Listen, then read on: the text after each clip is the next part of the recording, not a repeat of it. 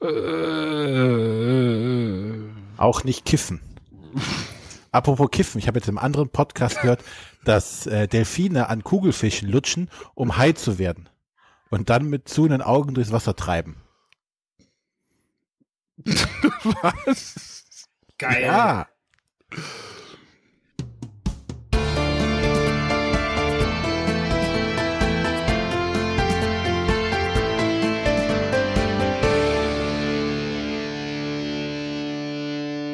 Hallo und herzlich willkommen bei den Bretterwissern. Die Bretterwisser, das sind der Arne, Hallo, guten Tag.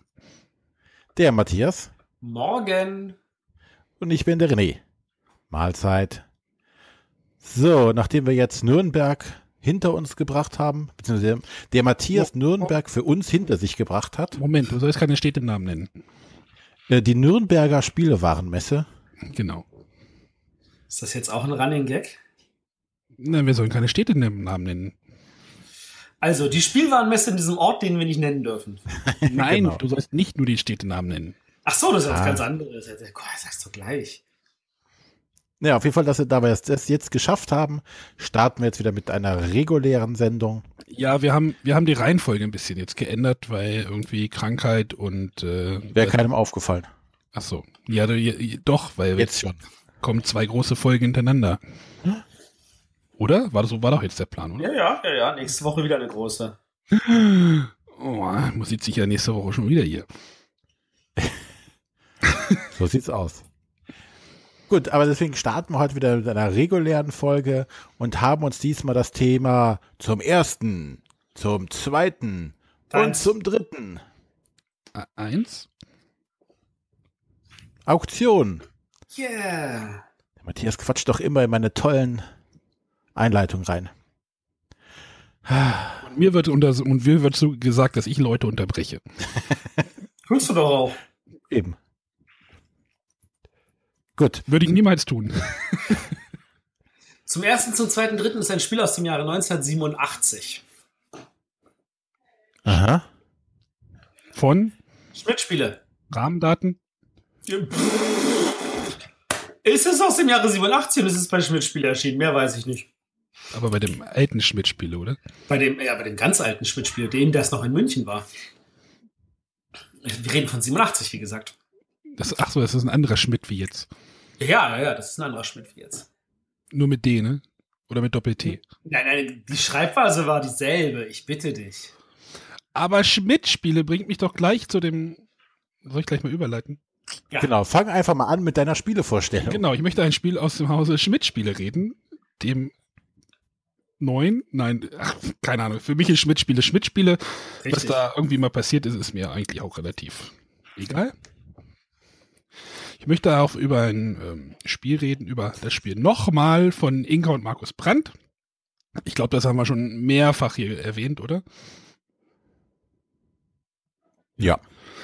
Nochmal ein, ein, ein Würfelabkreuzspiel auf einem Block. Und der Kniff ist jetzt, dass äh, ein Spieler würfelt, er sich äh, zwei Würfel aus dem Würfelpool auswählt und die anderen Spieler den restlichen Würfelpool benutzen dürfen. Dieser Würfelpool besteht ähm, aus drei weißen Würfeln, die die Farbe angeben und äh, drei schwarzen Würfeln, die die Zahl angeben. Und dann darf man auf einem Block, nachdem man sich halt, nachdem, wenn man der aktive Spieler ist, zwei Würfel ausgewählt hat, also einen weißen und einen schwarzen, also einmal Farbe, einmal Zahl, äh, Felder abkreuzen.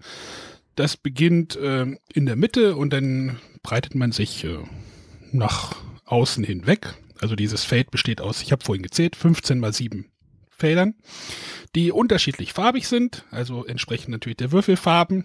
Und äh, dann geht es halt darum, diese Würfelflächen, diese, diese Felder sind so ein bisschen flächig angeordnet, also die Farben. Und dann geht es halt, die auszumalen und Spalten voll zu kritzeln.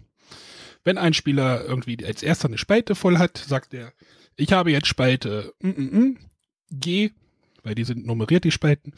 Und dann darf er sich die höhere Punktzahl ankreuzen.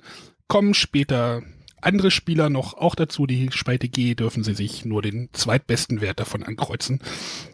Ähm, es gibt noch Joker, Joker äh, Farben, Anzahl auf den Würfeln, wenn man die einsetzt, also wenn man die gewürfelt sind und man die einsetzt, muss man ein Joker-Fade abkreuzen. Das gibt, ähm, ja, Minuspunkte gibt's nicht, aber wenn man Kreuze noch übrig hat, also Joker-Fader noch übrig hat, dann äh, gibt es dafür Pluspunkte. Es geht jetzt darum, diese Felder, wie gesagt, diese Spalten so viel wie möglich auszumalen und die farbig, farbigen Flächen auch alle voll zu kriegen. Und ja, das, das, das Spiel wird oft mit Quicks verglichen, weil halt dieser Mechanismus von wegen einer würfelt und die restlichen machen mit dem restlichen Würfeln auch noch irgendwas natürlich da nahe liegt. Ich sehe diesen Vergleich aber nicht. Weil es eigentlich. Weil? Ja, nur weil du was würfelst und was ankreuzt, ist das Spiel doch nicht verwandt, oder? Ja, aber so dieses alle sind gleichzeitig beteiligt und äh, einer würfelt und die anderen machen auch was mit den Würfeln, ist doch schon sehr ähnlich. Ja, es geht aber nicht um Zahlenwerte hier. Bei Quick spielen die Zahlenwerte eine Rolle. Na gut, sie haben ja nicht Quicks nachgebaut, sie haben ja schon was eigenes gemacht, aber ich finde schon sehr, sehr verwandt die Sachen.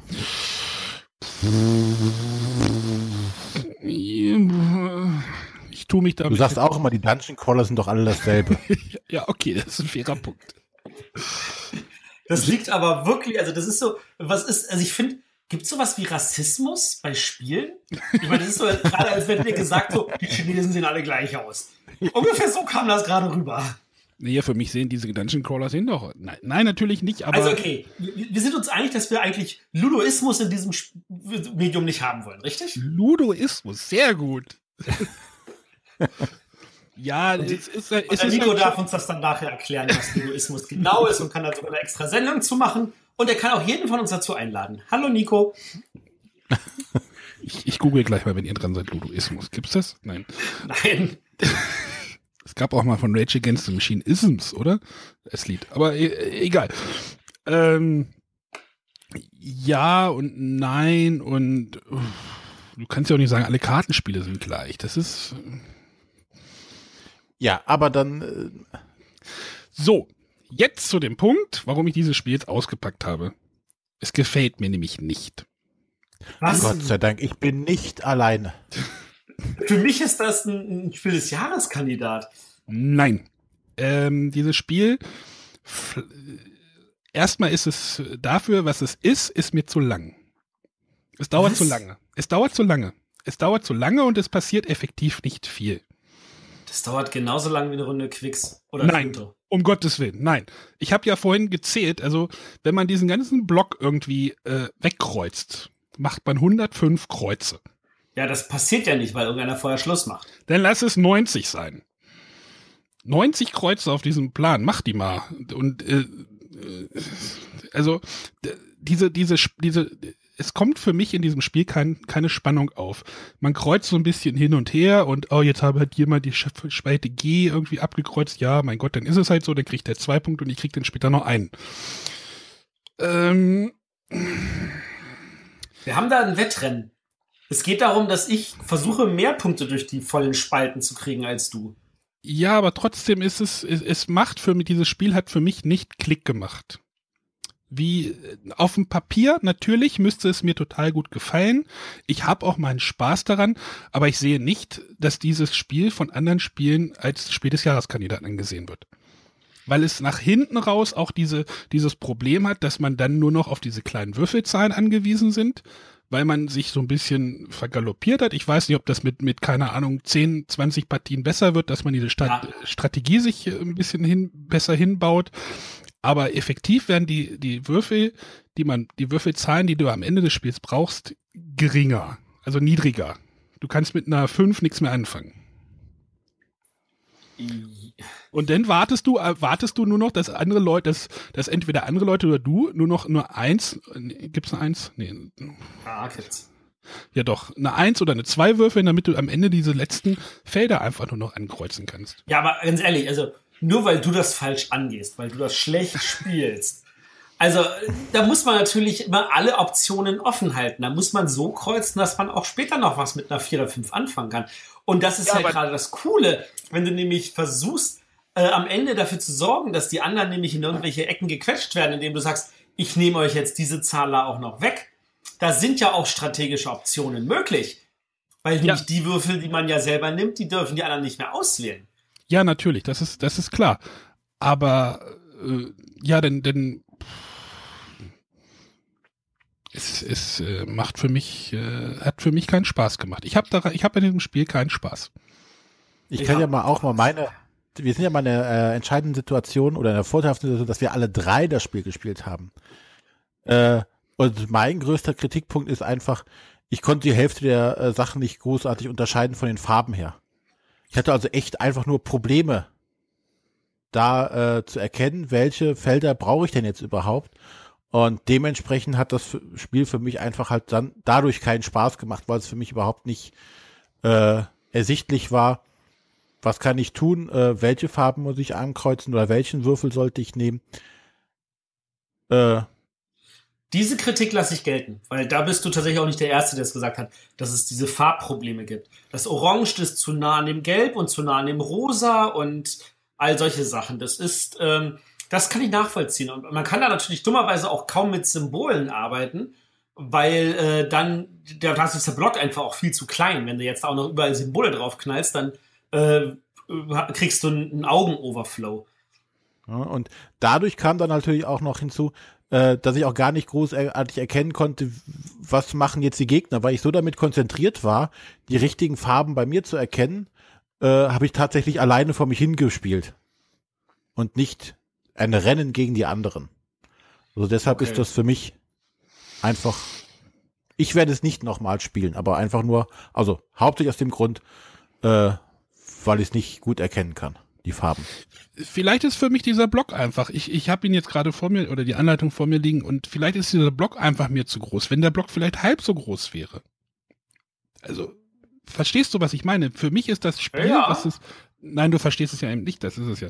Für mich ist dieses Spiel halt dafür, was es ist, ist dauert es mir zu lang, obwohl da 20 Minuten draufsteht, aber 20 Minuten, mm, weiß ich nicht, ob man die unbedingt einhält. Also, großer, also, großer Pluspunkt, großer Pluspunkt. Man kann es mit sechs Leuten spielen. Ich glaube, du kannst es auch mit acht spielen. Macht ja eigentlich auch keinen Unterschied, oder?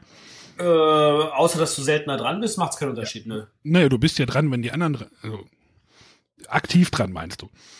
Ja.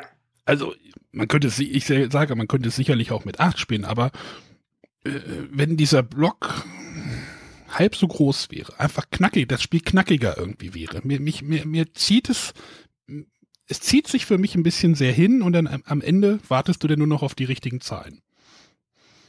Oder ich bin einfach zu doof dafür. Kann natürlich auch sein. Nö, das ist ja dein gutes Recht, etwas doof zu finden. Ähm, ehrlich gesagt, du bist der Erste, dem ich begegne, der Problem mit der Spieldauer hat. Weil, wenn ich das irgendwie, und ich habe das jetzt wirklich mit den verschiedensten Leuten an den verschiedensten Stellen gespielt, äh, da war immer, oh komm, lass uns sofort nochmal. Und äh, da war keiner dabei, der gesagt hatte, boah, das hat ihm zu lange gedauert, sondern die, wie, schon vorbei? Äh, ich war ich wollte doch gerade noch und dann wird, muss noch eine Runde gespielt werden. Ja, vielleicht bin ich da auch, ich weiß es nicht. Ich, ich tue mich auch echt schwer, weil alle, weil ich von, von aller Welt irgendwie höre, oh, dieses Spiel. Tu dir nicht schwer, bleib bei deiner Meinung. Wir wollen noch mal spielen und und ich habe auch vorhin, ich kann ja kurz noch irgendwie mal interner, irgendwie in, im Beeple-Netzwerk gibt es ja auch diese Abstimmungslisten und taucht dieses Spiel halt auch irgendwie jetzt weiter oben auf. Und es lässt mir halt zu denken und ich, ich verstehe es halt selber nicht, aber. Ähm, ja, das, das, das ist doch, das ist umso wichtiger, dass man diese Diskussion macht und äh, wo das Spiel am Ende landet, das ist dann immer noch also eine andere Geschichte.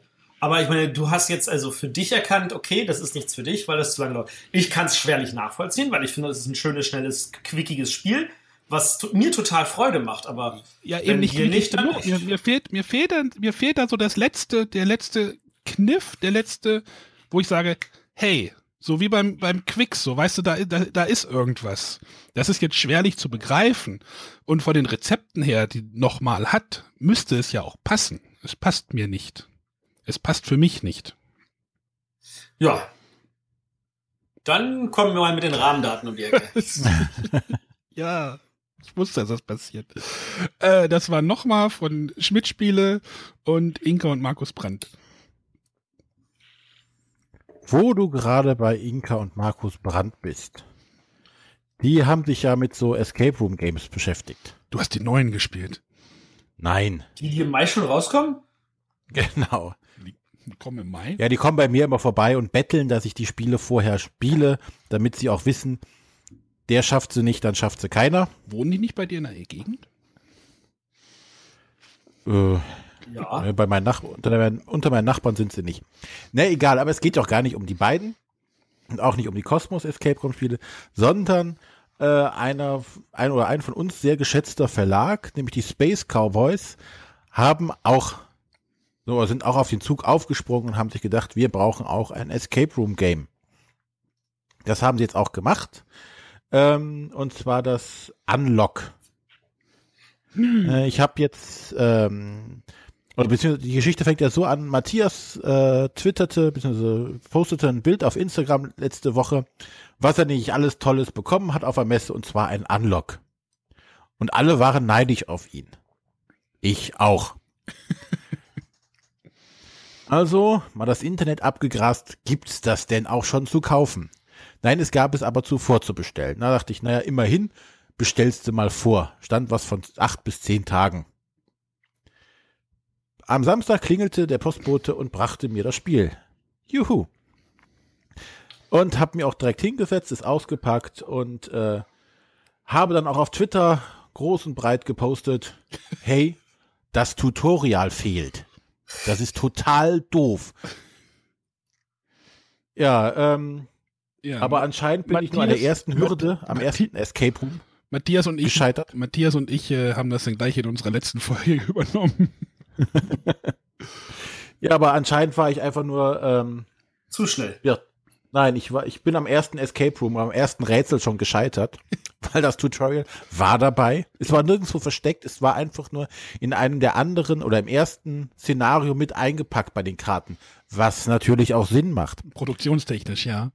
Genau, es sind halt, es ist halt ein Inlay, äh, was drei große Fächer hat und ein kleines, wo es aussieht so, hey, da kommt bestimmt das Tutorial rein. Wo ist das? Kommt, kommt, aber das war nicht da drin. Also erstmal Panik und auf Twitter gepostet und ja, dann äh, zu meiner eigenen Schande war es doch dabei und aber es ging anderen auch so, ich war nicht der Einzige. Wir möchten nochmal klarstellen, das Tutorial ist dabei. Genau. Es ist alles Also im Normalfall ist es dabei, auch wenn es so aussieht, als wäre es nicht dabei. Naja, gut. Äh, lange Rede, kurzer Sinn. Äh, aber am Sonntag haben wir uns direkt dran geworfen und dann das erste Szenario gespielt. Da möchte ich jetzt einen kurzen Eindruck zu geben. Äh, mit dem Hinweis darauf, dass ich die nächsten beiden Szenarien noch nicht angespielt habe. Aber trotzdem denke ich gerade bei einem Escape Room Spiel, äh, wo man ja eh nicht so viel jetzt über die Story erzählen kann, sondern eher über das, was das Spiel oder das Potenzial, was das System, was die sich ausgedacht haben, äh, hat. Da kann man sehr wohl drüber reden. Äh, und ich werde auch gar nicht auf das große Szenario eingehen, sondern ich werde äh, mich hauptsächlich jetzt hier an dem äh, Tutorial langhangeln. Sprich, es besteht gar nicht die Gefahr, dass ich irgendjemandem etwas verrate. Ähm, ja, das Ganze kommt als erste große Neuerung mit einer App-Unterstützung. Großer Nachteil dabei, zumindest unter iOS war es schwierig, diese App zu finden. Weil, wenn man Unlock eingibt, findest du tolle Programme, die dir irgendwas anlocken oder hast du nicht gesehen, aber nicht das Spiel Unlock, auch nicht mit Ausrufezeichen. Wenn man aber nach dem äh, nach der Firma JD Edwards sucht oder Edwards, ne, E äh, Das ist eine Logistik-Software-Geschichte. JD Edwards. so heißt die Firma, die auf jeden Fall die App in den App Store gestellt hat. Ich hatte nämlich auch gesagt, na guckst du mal unter Asmodee Digital. Da war es aber nicht drunter zu finden. Yeah. Dabei wäre es Finde doch- ich schwierig. Dabei wäre es doch so einfach, oder? Ja, du gehst einfach auf spacecowboys.fr slash unlock und dann gehst du dort auf den Link direkt zum iOS Store. Warum macht, warum macht man hier einfach einen QR-Code auf die auf, in die Anleitung oder sonst wohin? Ähm, Ein das Handy- ist eine sehr gute Frage. Ein Handy ist sowieso, äh, brauchst du ja sowieso. Das heißt, du musst es ja haben. Also, und äh, ich gucke jetzt gerade im Google Play Store, habe Unlock eingegeben und es ist die dritte App. Aber da steht Ja, ich, ich sage jetzt auch nicht, dass das ein äh, Problem von, von Asmodee oder von, von den Space Cowboys ist. Das ist der scheiß iOS Store. Wo irgendwelchen Sachen, wo die Suche einfach so kaputt ist. ja, da, Hinzu kommt, dass mir ein äh, QR-Code grundsätzlich bei meinem iPhone auch nichts bringt, weil dafür müsste ich erstmal eine QR-Code abhaben. Ja, oder dann machst du halt einen kurzen, einen Kurzlink oder sonst was. asmodee.de schrägstrich irgendwie 1234 oder was weiß ich. Also da gibt's ja auch Möglichkeiten, die man da hätte nehmen können.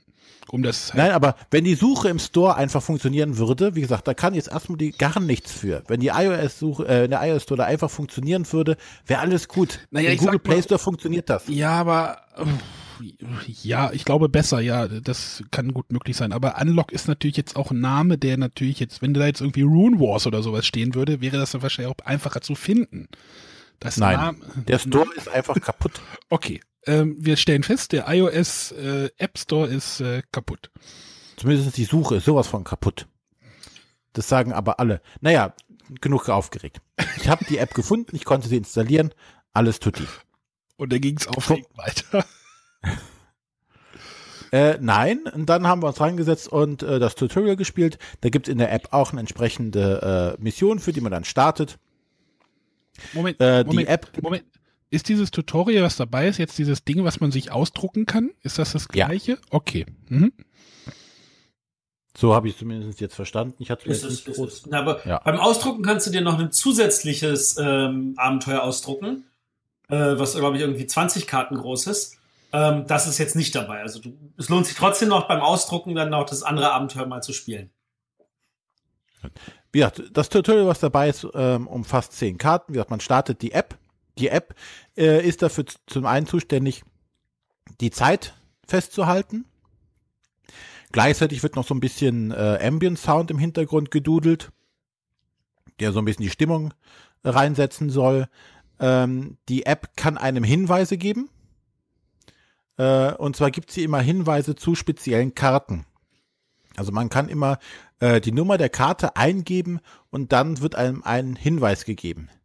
Äh, so wie wir das bis jetzt festgestellt haben, war es aber immer nur ein Hinweis pro Karte. Man konnte also nicht sagen, hm, der Hinweis hat mir jetzt nichts gebracht, gib mir einen weiteren zu der Karte. Das hat jetzt da an der Stelle nicht funktioniert oder beziehungsweise war es bei den Karten, die wir jetzt hatten, nicht der Fall, sondern man hat immer denselben Hinweis bekommen. Äh, das Holen der Hinweise hat nachher bei der Endabrechnung äh, eine Bewandtnis, denn je mehr Hinweise man sich holt, desto schlechter wird das Endergebnis. Äh, die nächste Möglichkeit, die man mit der App noch hat, ist, man kann ähm, sich verborgene Hinweise anzeigen lassen. Denn ähm, wie bei anderen Escape Room Spielen ist es auch so, dass man sich die Karten ganz genau anschauen muss. Hier erzähle ich jetzt auch nichts Neues, also kein Spoiler, weil es ist in dem Tutorial wird es auch erklärt und da ist es dann relativ offensichtlich. Da ist irgendwo eine Zahl aufgedruckt und das ist eine äh, ist die Zahl der Karte, die man sich dann raussuchen soll. Äh, und dieser die App gibt einem dann den Hinweis und sagt mal, guck mal auf der und der Karte in die Mitte. Und dann siehst du, ah, da steht's doch. Haben wir nicht gesehen. Ähm, der nächste Punkt, den die App machen kann, ist, ähm, wenn ich aus einem Raum raus möchte, muss ich einen vierstelligen Zahlencode eingeben. Den kann ich dann über die App eingeben und die sagt mir dann, war richtig oder war falsch. War es der falsche Code, um zum Beispiel die Schlusstür zu öffnen, äh, kriege ich eine Zeitstrafe.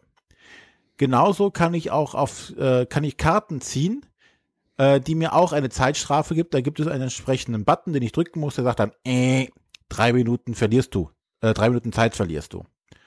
Ähm, das Ganze ist recht schön gemacht, äh, läuft auch soweit flüssig und unterstützt einen dabei halt. So, was haben sich jetzt die Space Cowboys ausgedacht im Gegensatz zu den anderen Systemen? Es ist rein kartenbasierend. Äh, zumindest in den Tutorial und in dem ähm, ersten Szenario muss man weder was zerschneiden, noch was zerreißen, noch was verbrennen. Wird man auch Sprich- nicht müssen. Das Spiel bleibt so, wie es ist. Man kann es also nochmal verwenden. Das ist äh, schon mal ganz nett.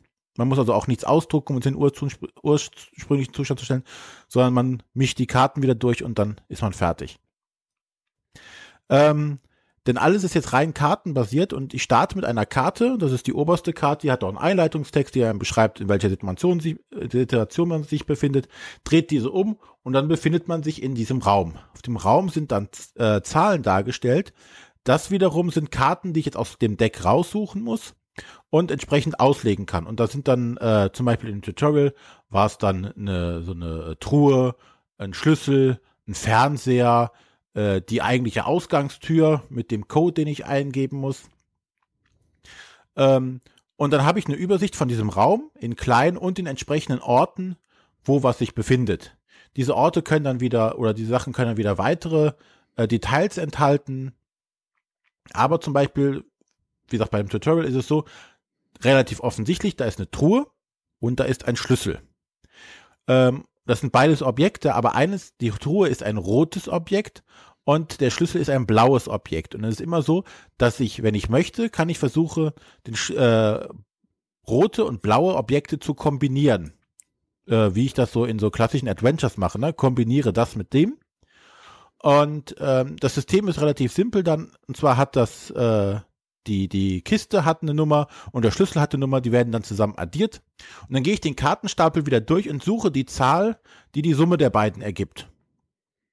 Gibt's sie, äh, gucke ich mir sie halt an. Gibt's sie halt nicht, dann war ich auf der falschen Fährte und es hat nichts gebracht. Gibt's die beiden, drehe ich mir die Karte um. Wenn es, wenn ich auf eine falsche Spur gelockt wurde, zum Beispiel von dem Spiel, was zum Beispiel sagt, oh, der Schlüssel und die Kiste gehören gar nicht zusammen, äh, kann es sein, dass ich dann so eine Strafkarte bekomme und äh, ich muss einmal auf den Strafbutton drücken und verliere Zeit.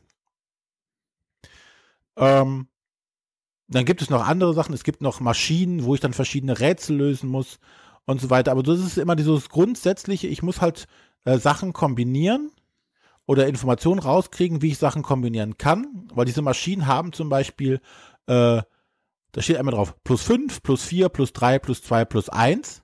Und du musst jetzt herausfinden, welche von diesen Pluszahlen du addieren musst, damit du auf die richtige Zahl kommst, die du dann wieder mit was anderem kombinieren kannst.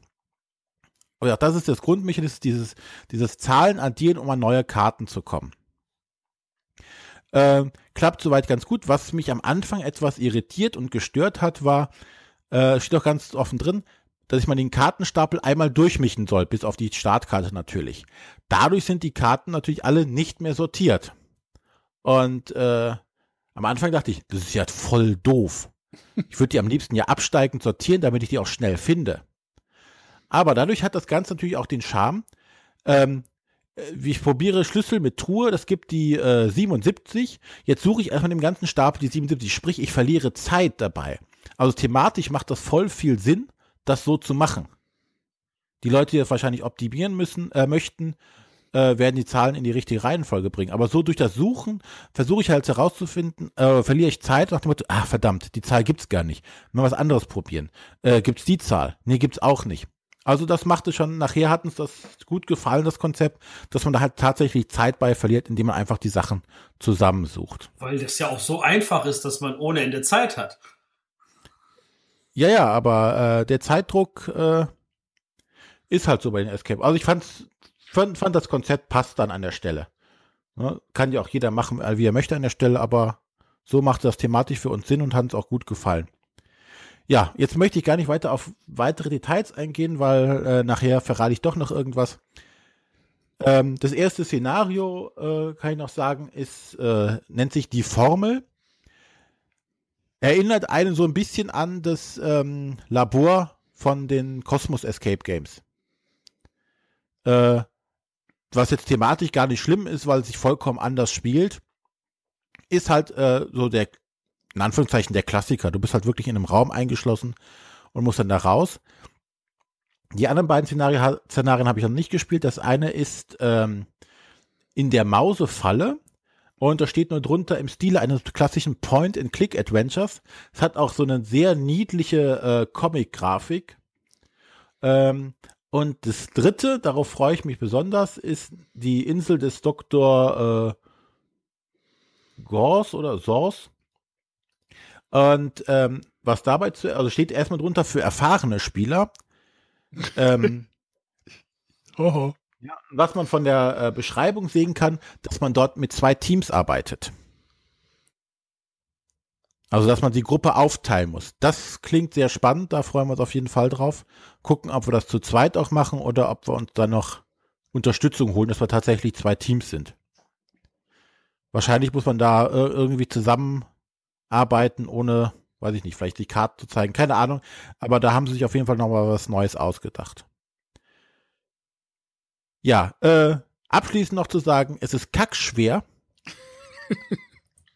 Das ist Richtig gut, dass du, gut, dass du dich auf den, auf den schwierigsten Fall freust. Naja, es hat ja trotzdem Spaß gemacht. Und äh, natürlich sind, ist man nachher auch wieder so, äh, da hättest du auch direkt drauf kommen können. Die Momente hat man natürlich auch. Ähm, aber wir haben es halt nicht in der benötigten Zeit geschafft. Wir haben unendlich viele Hinweise verbraucht. Äh, und ähm, weiter möchte ich jetzt nicht sagen. Also es gibt die Sternebewertung von 0 bis 5 Sterne. Wie viele Sterne wir bekommen haben, sage ich jetzt nicht. Ich habe noch keinen gefunden, der mehr als 0 hat. Gut. äh, aber es hat einfach Spaß gemacht, trotzdem, obwohl wir so schlecht abgeschnitten haben. Weil das Konzept ist, ist leicht zugänglich, sehr erfrischend, das mit diesen Zahlen und Kombinieren. Äh, ja, tolles Spiel. Ich freue mich auf die nächsten und ich kann es jedem, glaube ich, der Escape Room Games spielen möchte, nur wärmstens ans Herz legen. Aber ich glaube, da erzählt man, erzählen wir den Leuten, die sowieso Spiel, also so, sowieso drauf fahren, abwarten, äh, abfahren und abwarten, nichts Neues. Äh, aber auch so andere, die sich noch nicht damit beschäftigt haben, können sich das gerne mal angucken. Sieht sehr abwechslungsreich aus. Ja, ist halt, ist halt, ist halt spannend, wie jeder Verlag da irgendwie anders rangeht, so, ne? Jeder, ich meine, es gibt jetzt, Moment, vier, das ist jetzt der vierte Verlag, ne? Na, wenn du die Italiener mitzählst, wovon ich jetzt in der letzten Folge kurz erzählt habe, sind es fünf. Dinge sind es fünf, aber es haben alle einen anderen Ansatz. Also ich weiß nicht, es hat keiner irgendwie anscheinend bei keinem abgeschrieben, ähm, sondern es hat versucht jeder über, über sein eigenes Ding das Ganze, das Ganze irgendwie zu erreichen, zu, zu ja. erforschen, wie das, was da jetzt am besten funktioniert und hm? Ja. Ja, ich bin, bin dann auch gespannt, äh, was da noch kommt, jetzt auch, auch bei hier bei Unlock, bei dem System. Da geht auf jeden Fall auch noch einiges. Zweiter Kasten mit drei weiteren Fällen kommt im Sommer. Super.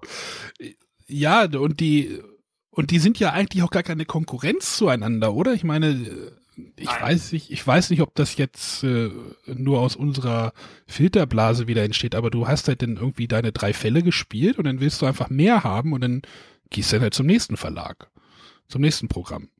Ich denke auch, dass das ein kluges Konzept ist für die Verlage. Gut, das war Unlock von den Space Cowboys, äh, beziehungsweise Asmodee in Deutschland. Ähm, das sind drei Autoren, also die unterschiedlichen Szenarien werden auch von unterschiedlichen Autoren gemacht. Als äh, Autor auf der Packung steht äh, der Cyril ähm, Ach so. Demarge oder Demarge. Entschuldigung, wie immer bei den französischen Namen. Ich schafft das nicht. Äh, ja, tolles Spiel. Freue ich mich auf mehr. Sehr schön. Matthias. Jetzt darf ich.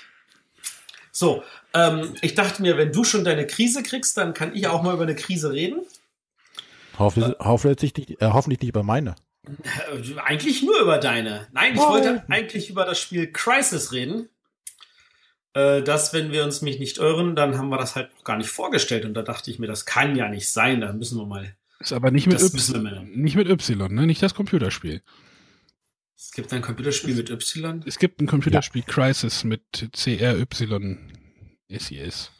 Ja, das ist außerhalb meiner Filterblase. Ja, ich weiß. Ich wollte es nur noch mal äh, hervorheben. Nein, ich rede von dem Brettspiel Crisis, erschienen bei Ludi Creations. Ähm, und in diesem Spiel geht es halt darum, dass der große Staat in einer Krise ist und äh, wir schlingern alle mit ihm mit, aber wir versuchen natürlich alle äh, innerhalb dieses dieser äh, Bereiche, die wir haben, äh, zu wachsen und zu gedeihen und dabei vielleicht dem Staat auch zugutekommen zu lassen, äh, bevor der selber dabei vor die Hunde geht. Ähm, das Ganze hat vom Prinzip her eigentlich einen relativ einfachen äh, Worker Placement Mechanismus. Äh, und zwar einen, der in der Form sogar schon mal vorkam, und zwar bei Dominant Species. Wer das Spiel jetzt nicht kennt, ist auch nicht schlimm. Ähm, es geht einfach darum, dass jeder sich einen von möglichen Aktionen aussucht. Es gibt bestimmte Aktionen, die kann man auch mehrfach aussuchen. Und unabhängig davon, in welcher Reihenfolge man sie genommen hat. Erst nachdem alle eingesetzt haben, werden diese von oben nach unten in der vorgegebenen Reihenfolge ausgeführt. Äh, nur, dass wir hier halt nicht irgendwie mit irgendwelchen Tierchen uns äh, vermehren und kämpfen und neue Ge Gebiete entdecken, sondern dass wir hier eigentlich äh, Firmen in Firmen investieren und Rohstoffe besorgen und Arbeiter und mit denen halt dann produzieren und verkaufen beziehungsweise exportieren oder auf Schwarzmarkt handeln. Ähm, der Ablauf ist dabei halt relativ easy gehalten. Am Anfang der Runde passiert erstmal irgendein Event. Dabei ist äh, der, das, das, das Güte der Wirtschaft des Landes ähm, ist dabei festgehalten in, in so einer Farbskala von 1 bis 45, wobei halt 1 bis 15 ist die rote Bereich, 16 bis 30 gelb, 31 bis 45 grün. Über 45 kann es nicht gehen. Sollte es unter 1 fallen, ist das Spiel vorzeitig beendet.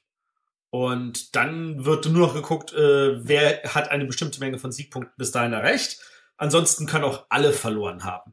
Was für ein nicht kooperatives Spiel auch irgendwie spannend ist. Ähm, genau, also es gibt also ein Event. Am Anfang ist das grün und ich, wenn ich mich nicht täusche, mehr oder weniger 99 Prozent aller dieser Events sagen erstmal, ach, die Wirtschaft im Land geht runter. Also wir verlieren gleich 1, 2, 3, 4 oder 5 Punkte auf dieser Skala und dann geht's richtig kräftig nach unten. Und danach äh, können wir unsere Aktionen machen. Da gibt's so einfache Aktionen wie, oh, ich nehme eine Aktionskarte oder ich möchte das nächstes als erstes dran sein oder ich kaufe mir eine Ware oder ich stelle ein paar Arbeiter ein oder ich investiere in eine Firma oder ich besorge andere Waren, um mit denen dann halt irgendwie wieder was zu machen. Ähm, das Coole sind dabei, ist, ist dabei die Abrechnung der äh, Firmen, in die man investiert hat. Die sind nämlich so aufgebaut, dass man auf der einen Seite einen bestimmten oder manchmal auch zwei Arbeitertypen braucht, um sie anzuwerfen, aber dann weitere Arbeiter investieren kann, um das, was rauskommt, zu verbessern. Ähm, konkretes Beispiel ist zum Beispiel irgendeine Farm. Da äh, packe ich einen braunen Arbeiter rein und dann produziert der ähm, Getreide. Wenn ich da aber unten so, sagen wir, noch einen grünen Arbeiter dazulege, der vielleicht eine Plus eins dran hat, dann produziert er nicht ein Getreide, sondern auf einmal zwei Getreide. Und das kann der auch natürlich zum Beispiel sowas machen, wie wenn ich in eine Bank investiert habe. Die Bank produziert dann so und so viel Geld. Und wenn ich da zum Beispiel einen Bankier noch hinlege unten, dann produziert sie äh, entsprechend mehr Geld, beziehungsweise manchmal steht da dann so auch sowas wie zweimal drei Geld, das sind dann sechs Geld, aber dann erhöht dieser zusätzliche Arbeiter nicht das Geld, was hinten rauskommt, sondern den Multiplikator. Das heißt, dann hätte ich also, wenn ich der plus eins hätte ich dann statt zweimal drei, dreimal drei. Ähm, Manche von diesen äh, Firmen produzieren auch zwei Sachen gleichzeitig, Geld und Siegpunkte zum Beispiel oder Ware 1 und Ware 2. Äh, und dann müssen wir einfach nur das alles abgehen und äh, irgendwie damit äh, Siegpunkte uns erwirtschaften. Weil das Geld ist erstmal von sich aus nicht so viel wert, außer dass man von Anfang an immer zu wenig hat. Äh, das kann, man kann auch Kredit aufnehmen, das ist eine der möglichen Aktionen und die kann nur ein Spieler machen in einem Zwei-Personen-Spiel ist das jetzt nicht das Problem. Du sagst, ja, ich mache jetzt mal den Kredit und nächste Runde kann ich mir vielleicht nochmal einen Kredit holen oder so. Aber wenn du zu fünf spielst, und das Spiel geht bis fünf Spieler, kann es schon sein, dass in diesen gerade mal sieben Runden du nicht dazu kommst, auch nur einmal einen Kredit zu nehmen und du danach überhaupt nichts hinkriegst, weil du nicht genug Geld hast. Ähm, dann äh, wird also das, nachdem wir alle unsere Figuren geplatziert haben, wird das abgehandelt. Äh, zuerst gibt's, äh, wird die Schreienfolge festgelegt, dann gibt's die Waren, dann gibt's die Arbeiter, dann gibt's die Firmen, dann holen wir zusätzliche Waren. Dann gibt's mittendrin einen Punkt, mittendrin ist gut, ein Punkt, glaube ich, 13 oder 14 von 15. Ähm, da produzieren dann alle Banken. Da dürfen wir dann alle unsere Arbeiter umlegen und dann produzieren die alle. Äh, wir müssen Waren reinschmeißen, dafür kommen andere Waren raus. Und danach können wir auch noch exportieren, wobei wir aber nur exportieren können, ähm, wenn der Nachfrage dafür da ist. Ansonsten müssen wir sie in den Schwarzmarkt geben. Und im Schwarzmarkt gibt's nur Geld. Und Geld ist zwar wichtig, aber es bringt nicht voran, weil man braucht Siegpunkte. Und wenn wir es regulär exportieren, gibt's dafür Siegpunkte und Geld. Weniger Geld, aber dafür halt noch Siegpunkte. Und danach, wenn wir damit fertig sind, wird jetzt geguckt. Zu Beginn jeder Runde äh, wurde nämlich ein Zielpunkt festgelegt. Wir starten alle mit 15 Siegpunkten und nach der ersten Runde müssen wir schon alle 19 haben. Vier Siegpunkte am Anfang, das klingt noch überschaubar, aber auch das ist schon am Anfang schwierig. Äh, später ist es so, dass wir dann irgendwie für die siebte Runde dann irgendwie 90 Siegpunkte haben müssen und dann von der Runde davor gerade mal so auf 70 gekommen sind oder so. Da müssen dann auch größere Schritte gemacht werden. Für jeden, der es geschafft hat, diesen Zielwert zu erreichen oder drüber zu gehen, verbessert sich die Stabilität des Landes und für jeden, der drunter ist, senkt sich die äh, Stabilität des Landes und zwar jeweils um den Abstand. Das heißt, wenn der Zielwert 20 ist und ich habe 22, geht es zwei nach oben und wenn du nur 17 erreicht hast, heißt es, es geht gleichzeitig auch wieder drei runter. Ja, und dann wird einfach nur geguckt, ähm, ist das Spiel vorbei, weil wir irgendwie unter eins gefallen sind? Wenn nicht, äh, kriegen all die äh, nach der zweiten, vierten, sechsten Runde eine Belohnung, die das geschafft haben oder drüber sind, die anderen halt nicht. Und dann starten wir einfach die nächste Runde. Es wird ein neuer Zielwert festgesetzt. Wir bleiben da, wo wir sind. Wir müssen einfach nur noch mehr haben. Wenn ich schon vorher zu wenig habe, wird es immer schwerer, auch nach oben zu kommen, aber nicht unmöglich. Das Ganze spielt sich flott. Ähm, dem Spiel liegen auch Karten bei, die verschiedene Zielwerte vorgeben, je, je nachdem, wie schwer man es haben möchte. Man kann es auf einfach, auf mittel oder auch auf schwer spielen. Wobei ich sagen muss, von Anfang ruhig einfach spielen, das ist dann schon herausfordernd genug. Wenn man das ein paar Mal gespielt hat, ruhig auf schwer spielen, das ist dann auch nochmal spannende Herausforderung. Ähm, gewinnen tut normalerweise der, der die beste Engine zum Laufen bekommt. Das heißt, es ist wichtig zu gucken, was machen die anderen. Welche Waren kann wer produzieren? Was kann man überhaupt exportieren? Wo könnte ich dem anderen vielleicht in die Bresche schneiden und im Notfall auch nur einfach eine Ware kaufen, um die zu exportieren, selbst wenn ich sie sonst nichts weiter verkaufen kann, einfach damit dieses Exportplättchen wegkommt und der andere genäst ist. Ähm, in welche Firmen investiere ich? Will ich da gucken, dass ich in, in teure Waren verkaufe? Will ich früh möglichst viel machen und später dann einfach nur noch Geld? Oder will ich äh, früh einfach nur ein paar Rohstoffe machen, um später die wertvollen Rohstoffe zu machen, die man für besser exportieren kann. Äh, da sind so ein paar Möglichkeiten drin. Und das Ganze spielt sich auch flott in, na, ich würde mal behaupten wollen, maximal 90 Minuten. Selbst zu fünft, außer man hat natürlich ein paar Grübel am Tisch. Was ich ja, äh, diesen Ansatz zu sagen, äh, eigentlich steht der Planet schon auf der Kippe. Wir beuten ihn aber, soweit es geht, dennoch aus. Ja. Und wenn wir ihn zu sehr ausbeuten, geht er vor die Hunde und wir haben alle verloren. Das finde ich eigentlich ein sehr, also auch sehr thematisch cooles Element, nach dem Motto, eigentlich spielen wir jeder gegen jeden, aber wir müssen schon gemeinsam aufpassen oder wer traut sich äh, zu äh, genug zu riskieren, ohne dass es dann zum Kollaps kommt. Ja. Äh, das, also, das ist, es ist auch so, dass einer alleine nicht den Kollaps herbeiführen kann. Also wir hatten diese Situation, wo ein Spieler feststellte, hm, ich bin jetzt so abgeschlagen, ich versuche jetzt mal die Krise vorzeitig herzuziehen und er hat es nicht geschafft, weil der ganze Rest dann so weit entsprechend drüber gegangen ist, dass er es nicht geschafft hat, das unter eins zu ziehen. Also mhm. das, das, auch das kann das Spiel auffangen, was ich sehr angenehm finde. Ja. Ähm, dieser, ich gucke mir gerade ein Bild an von diesem Spielplan. Ja. Der sieht, ist der praktikabel? Ist der zu durchschauen? Für mich sieht das gerade alles sehr konfus aus. Der sieht beim ersten Blick definitiv konfus aus, aber wenn du es eine Runde gespielt hast, wirst du feststellen, das ist alles so selbsterklärend und die Punkte sind alle sehr, sehr deutlich sichtbar. Also das, das, das hat sich tatsächlich nicht als Problem herausgestellt. Ich habe es ja noch nicht gespielt, also äh, wird wahrscheinlich auch nicht vorkommen. Ähm, was wir gemacht haben, und da kann jetzt natürlich jeder selber überlegen, wie gut er das findet, äh, bei den Aktionskarten gibt es eine Karte, die heißt äh, Streik, wo die Mitspieler ähm, einen ihrer Arbeiter in dieser Runde nicht einsetzen können. Und wir hatten so eine Situation, wo einer davon äh, drei Karten bekommen hat und alle drei in derselben Runde eingesetzt hat, was dafür sorgte, dass mehr oder weniger alle anderen in der Runde nichts mehr machen konnten. Und auch wenn es natürlich zu dem Spiel dazugehört und er damit sich einen guten Vor äh, besorgt hat, also einen richtigen Vorsprung, ähm, fand ich das ehrlich gesagt nicht so prickelnd. Und das, wir fanden, fanden das als negativ genug, dass wir die Streikkarten rausnehmen.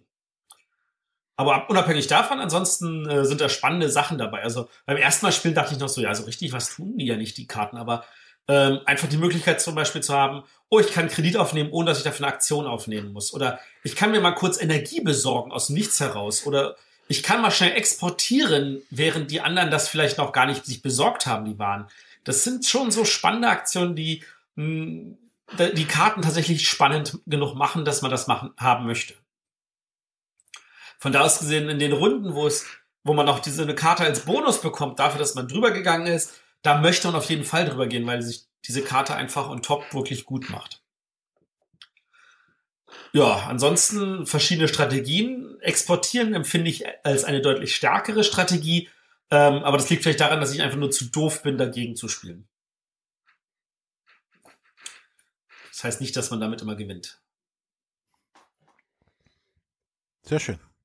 Gut, das war Crisis von Ludi Creations von den Autoren Pantelis Bubulis und Sotironius Zantilas. Man möge mir verzeihen, ich vermute, es sind Griechen.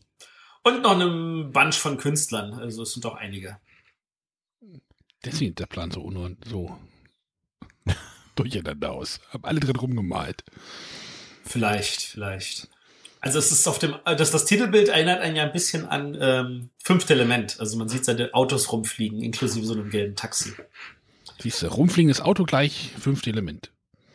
Ja, Multipass. Alle würfeln gleichzeitig, ist es Quicks. okay, wir sind wieder beim Ludoismus, ich verstehe. So, dann kommen wir doch jetzt mal, bevor wir jetzt wieder auf irgendwelchen Abendspielen rumhacken, die es überhaupt nicht verdient haben, äh, zur Frage der Woche. Ja. Okay. Arne. Passend zum schönen Sommerwetter habe ich, äh, hat uns der Carsten, ich weiß den Kanal nicht, wo er jetzt äh, der, wo die Frage reingekommen ist und äh, welches Spiel mit dem Thema Motorsport findet ihr am besten? Die Frage gebe ich jetzt an unsere Rennfahrer hier weiter. Ähm, also ich, äh, so viel Rennspiel oder Motorsportspiele habe ich gar nicht. Und wenn ich da, ähm, das wäre Rallyman.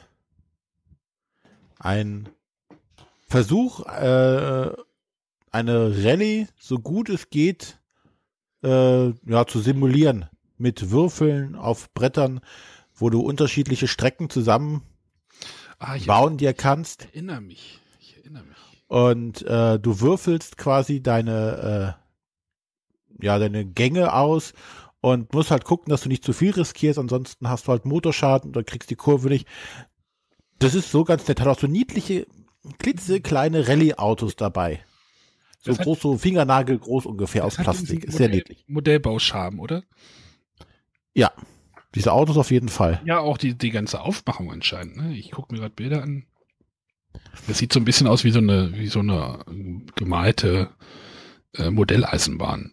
Ja, du kannst halt da auf jeden Fall, ja, du hast so verschiedene Pläne, die du dann zusammenlegen kannst, die eine kleine oder eine große Rallye-Strecke bieten. Äh, du kannst richtig so eine komplette Saison quasi spielen, wo du so Checkpoint hast, wo du vorbeifahren äh, musst. Äh, sind auch alle Spieler auf der Strecke gleichzeitig unterwegs. Doch, das äh, ist äh, nett. Also bis jetzt so die beste Motorspielumsetzung, die ich so habe und kenne. Ansonsten gibt es ja auch, glaube ich, gar nicht so viel. Naja, der, der Elefant im Raum, der wird wahrscheinlich gleich von Matthias genannt werden. Äh, aber sicher wird er das. Obwohl ich an der Stelle sagen muss, dass ich Rallyman auch cool finde, aber leider nicht besitze, weil immer wenn ich es irgendwo herhaben wollte, hieß es so, nee, sorry, ausverkauft. Also von da ausgehend, Rallyman finde ich auch sehr gut, würde ich auch empfehlen. Aber natürlich komme ich natürlich mit meinem Liebling und das ist der große Elefant. Aber du willst noch irgendwas vorher erwähnen. Ja, ich möchte ein Carrera-Spiel erwähnen. Ah. Das äh, Start frei. Ähm, ein Spiel, was mit in dieser, es gab ja die, vor, vor zwei oder drei Jahren diese Carrera Spiele, äh, Fits und Meets und, oh, wie hieß denn das Kartenspiel? Ähm, es ist mir entfallen.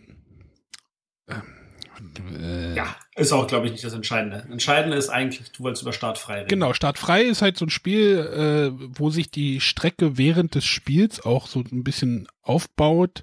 man kann die auch schon vorher oder man sucht sich die Teile vorher aus, sowas. Man sucht sich die Teile vorher aus, damit man so ungefähr einen Plan hat, wo es hingehen soll. Und dann baut man während des Spiels mehr oder weniger die Strecke auf.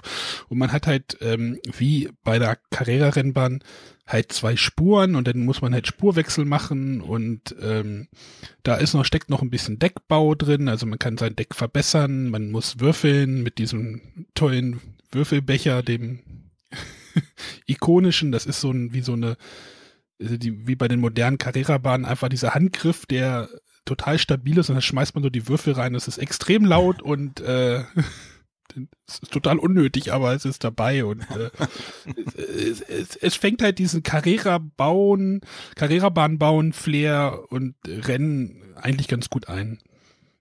Es hat auch so ein Lenkrad, wo was so immer anzeigt, welchen Gang man gerade hat und welchen Würfel man denn entsprechend würfeln muss und äh, ja. Das ist ja, so das, was mir jetzt so irgendwie eingefallen ist. Wie hieß denn das andere Spiel, verdammt? Naja, wenn du das rausfindest, kann ich ja mal dann einfach mal das große nennen, und zwar natürlich Formula D. Das Formel 1 Autorennspiel schlechthin. Äh, man, es gibt, weiß ich nicht, also von der aktuellen Version gibt's, glaube ich, 14 oder 16 Bretter und äh, von der Version davor gibt's irgendwie 40 Bretter und also es gibt ohne Ende verschiedene Strecken. Äh, da sind auch irgendwann halt also Strecken durch, durch, durch Städte hindurch zugekommen mit Kreuzungen und ich weiß nicht was alles. Ähm, und an sich ist es so, äh, jeder hat sein Auto. Ähm, wenn man mit weniger als zehn Spielern spielt, weil das kann man mit bis zu zehn Spielern spielen, kann man natürlich auch sagen, okay, zu fünf, jeder nimmt zwei Autos oder so. Auch das geht.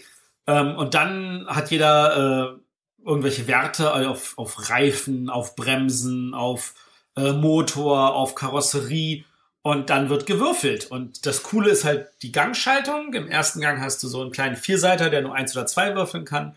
Im zweiten Gang hast du so einen Sechsseiter, der kann bis zu ähm, vier würfeln.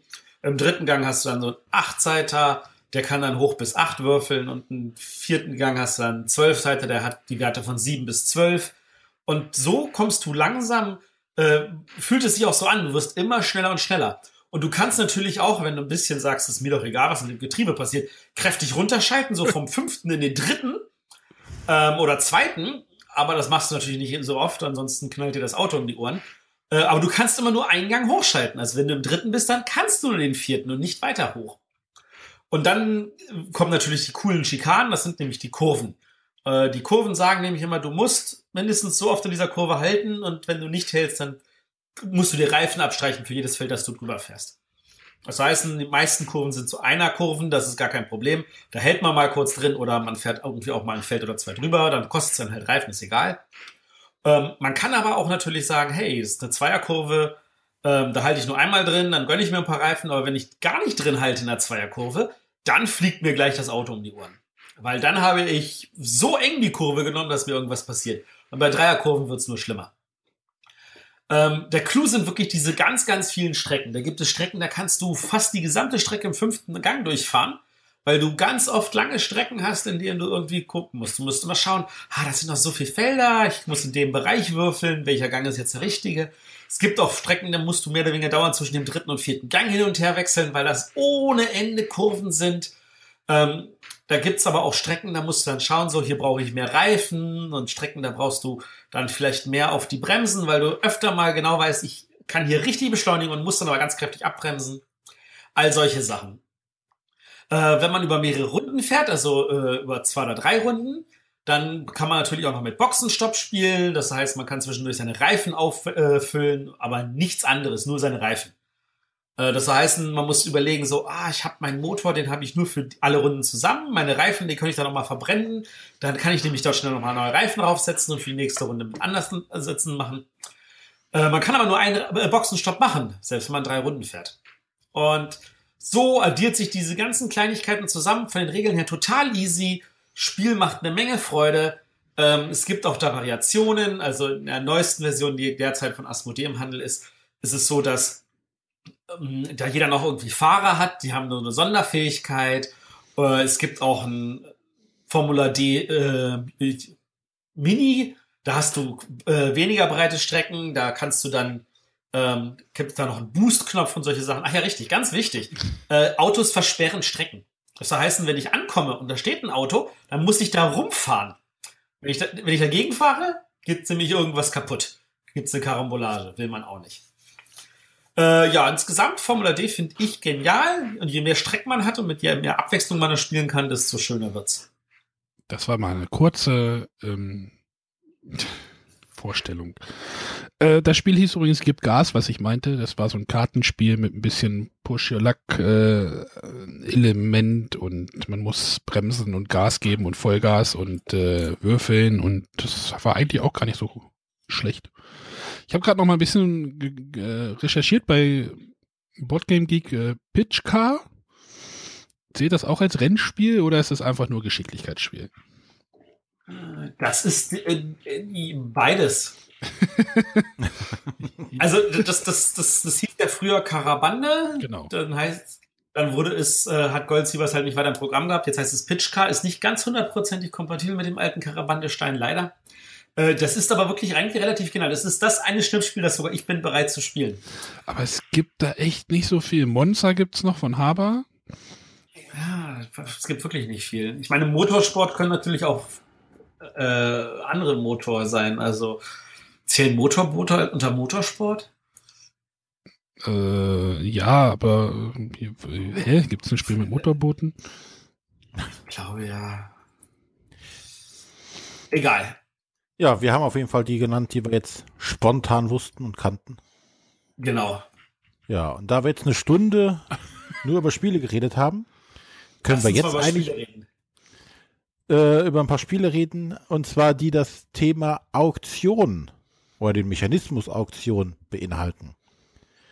Das ist jetzt nämlich unser großes Thema. Es gibt fünf Spiele, die Autorennen heißen. Egal. Wir sind bei Auktionen, nicht Autorennen. So. Da kann man bestimmt auch Autos ersteigern. Hm, haben wir jetzt mit Autos dabei? Kann man irgendwo Autos ersteigern? Äh, ich glaube nicht. Ich erinnere mich nicht daran, dass ich da eins dabei gesehen hätte. Nee. Gut, was haben wir denn für, für Auktion? Oder wie kommen wir überhaupt auf das Thema Auktion? Matthias. Das war Matthias Fragen. äh, wir, wir kommen auf das Thema Auktion, weil sich das ein paar Hörer gewünscht haben. Da haben gesagt, oh, Auktion wäre doch mal ein Thema, über das ihr reden könntet. Und ich so, dann tun wir das doch einfach mal. Ist eine Weile her, deswegen weiß ich jetzt nicht mehr, wer das war. Auch das. Man möge mir verzeihen. Aber der Hörer ist hoffentlich noch dran und äh, kann uns entsprechend dann auch sagen, ob wir irgendwas vergessen haben. Und ich würde ehrlich gesagt am liebsten auch schon gleich mit dem Auktionsspiel loslegen, das äh, vier verschiedene Auktionsmethoden hat.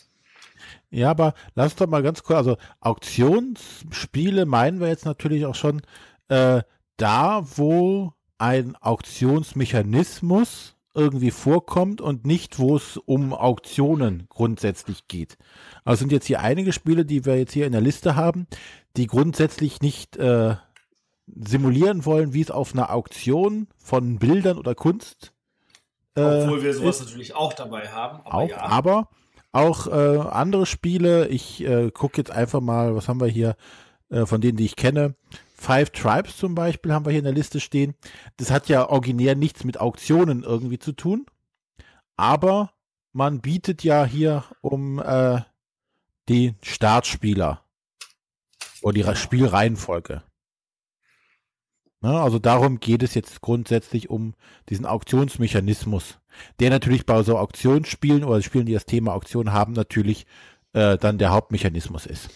Aber Auktionsmechanismus ist ja nicht gleich Auktionsmechanismus. Ich habe ja, ich habe da mal ein bisschen in der Wikipedia ein bisschen rumgekramt und es gibt da ja ganz viele verschiedene Auktionstypen. Also ich glaube, der bekannteste Typ, den jetzt wir hier, ist halt diese ähm, eBay-Auktion. Oder? Ja,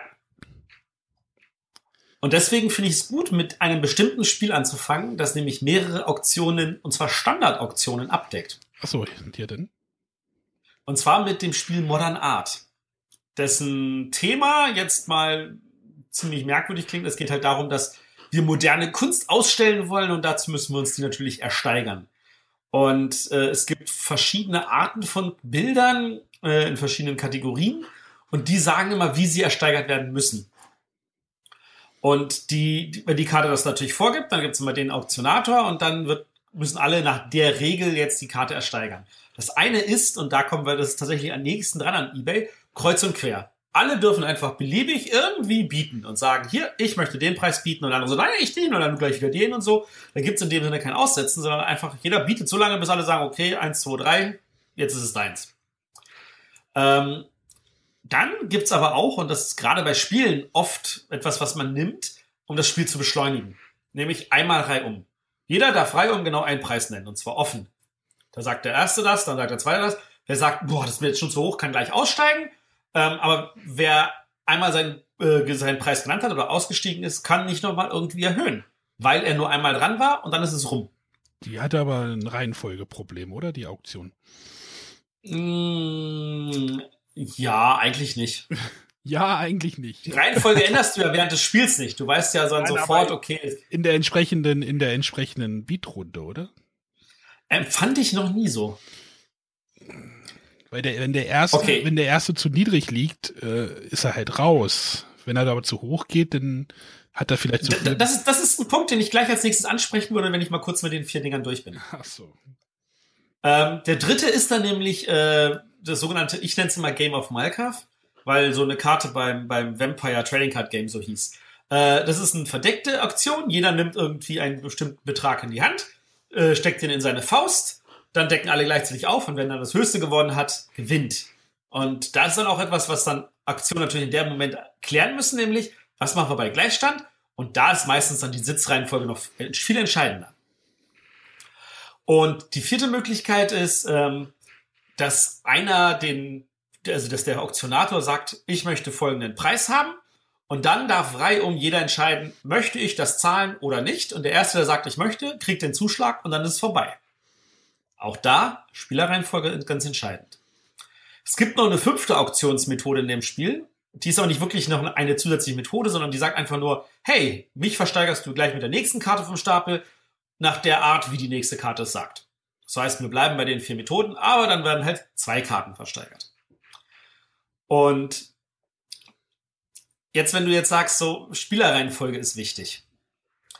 Ähm, also das größte Problem bei, bei, bei Auktionsspielen ist nämlich ganz, ganz, ganz, ganz oft, und das ist etwas, was, woran viele Auktionsspieler scheitern, ist, die Leute haben null Ahnung, wie viel darf ich bieten.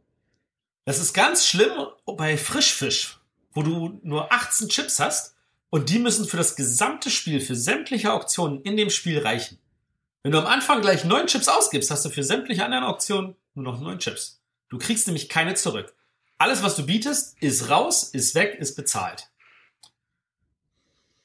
Und das ist auch, glaube ich, das größte Problem für Auktionsspiele, wenn sie irgendwie neu auf den Markt kommen. Deswegen finde ich, dass Auktionsspiele, wenn man diesen großen Problem bedenkt, finde ich es eigentlich ein Wunder, dass es so viele gibt, auch gerade so viele in oberen Bereichen, die gut sind. Also die auch wirklich beliebt sind. Das mit dem, mit dem, mit dem Pool an Geld, das hast du bei dem, bei dem Going, Going, Gone, kann ich ja gleich mal hinsch hinspringen. Dort hast du ja auch nur ein, also Going, Going, Gone ist so ein Auktionsspiel, so eine Echtzeitauktion, ähm, aber dort hast du auch nur einen begrenzten Pool an Ressourcen über das gesamte Spiel. Oder das kann man tatsächlich das, Echtzeit. Kann, bitte? Ja, ja, das ist tatsächlich Echtzeit, weil du halt diese, diese Pappe hast und sagst so, und zuck, vorbei und dann deckst du halt diese Töpfe, die die Leute reinbieten, halt zu und dann können sie halt auch nicht mehr reinbieten. Genau. Ähm, aber dort hast du auch halt nur diese, du kriegst kein Geld während des Spiels wieder. Du kriegst halt nur das Geld zurück von den verlierten, äh, verlierten, oh Gott, verlorenen, äh, in Klammern Auktionen, die du verlierst und die Klötze kriegst du halt wieder, aber. Ja. Ähm, wo du jetzt eben sagtest, äh, dass jetzt hier Modern Art ganz viele ähm, kombinat äh, verschiedene äh, Auktionsmechanismen kombiniert. Das macht äh, das Spiel, was der Arne gerade eben noch eingefügt hat, hinzugefügt auch Kuhhandel, das Brettspiel. Das stimmt. Und äh, da gibt es noch eine Sache, die jetzt spontan, ich habe es leider nicht mehr hier alles äh, parat, aber diese ähm, holländische Auktion, wo quasi der Auktionator den Preis runterzählt ja. und der, der als erstes sagt, den Preis nehme ich, äh, dann den Zuschlag erhält.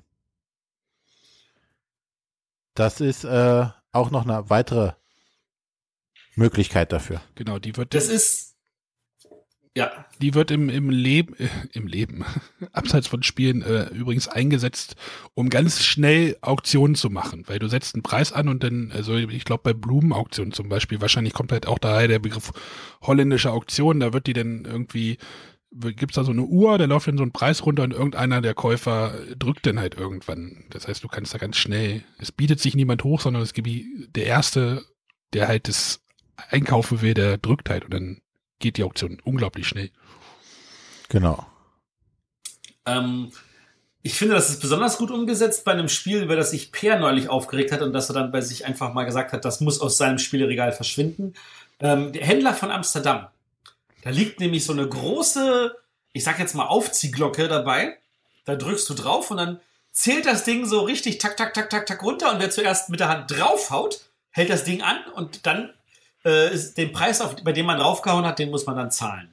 Also der zählt auch richtig so. Also da ist, da ist ein schönes haptisches und optisches Element, das einem sagt, was der aktuelle Preis ist, ohne dass das irgendeiner machen muss. Also da, da ein Spieler dafür irgendwie aussetzen muss. Aber das ist natürlich nicht jedermanns Sache, mit Fäusten auf irgendetwas draufzuknallen, so auf Glocken zum Beispiel bei Halligalli oder, oder auf so. Garten.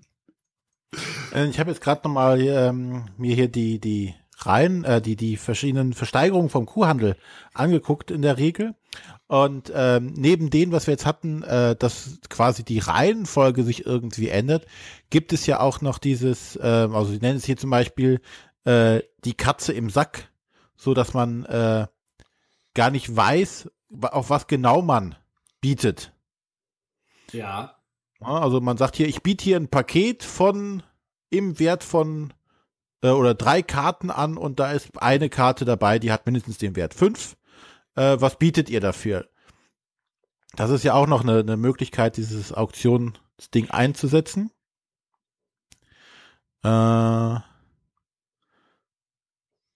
dann gibt's hier noch die, die, die, das amerikanische, oder nennen hier amerikanische Anzahl, äh, wo dann der, äh, nicht der Wert der Geldscheine interessant ist, die man bietet, sondern die Anzahl der Geldscheine. Ja. Das ist gerade bei Kuhhandel spannend, weil da gibt's ja auch Nullerscheine. Ich muss das Spiel Mhm. echt, das liegt jetzt ja, das hat René mir ja rübergeschickt. Ähm, ich werde das, glaube ich, echt mal jetzt, ich hätte das vor der, vor der Sendung machen sollen. Es ist ein Spiel mit Tieren und das hast du noch nicht gespielt. Das hat, glaube ich, noch keiner im Haushalt gesehen, dass das hier ist. Ja, Ja, dann zeig's mal bitte deiner Schwägerin. Das Es gibt ist auch ja, Tierbabys. Oh, Viel wichtiger, Tierbabys. Sind da auch Schafbabys. Schafbabys, ich wollte gerade sagen, oh nein. Hallo, da gibt's auch die Wollmilchsau. Die Ja, genau. Die eierlegende Wollmilchsau.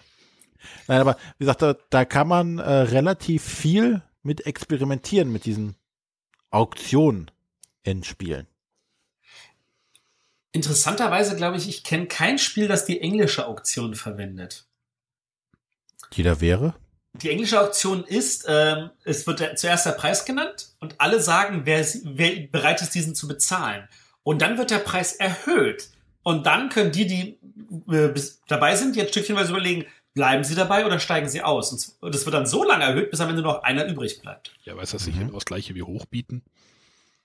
Ja, nicht wirklich, weil du das offen tust. Weil du nicht, weil nicht da irgendwie, ich habe zuerst fünf gesagt, deswegen ist mein Gebot fünf und du musst mehr bieten, sondern hey, ich bin auch bereit, fünf zu bieten.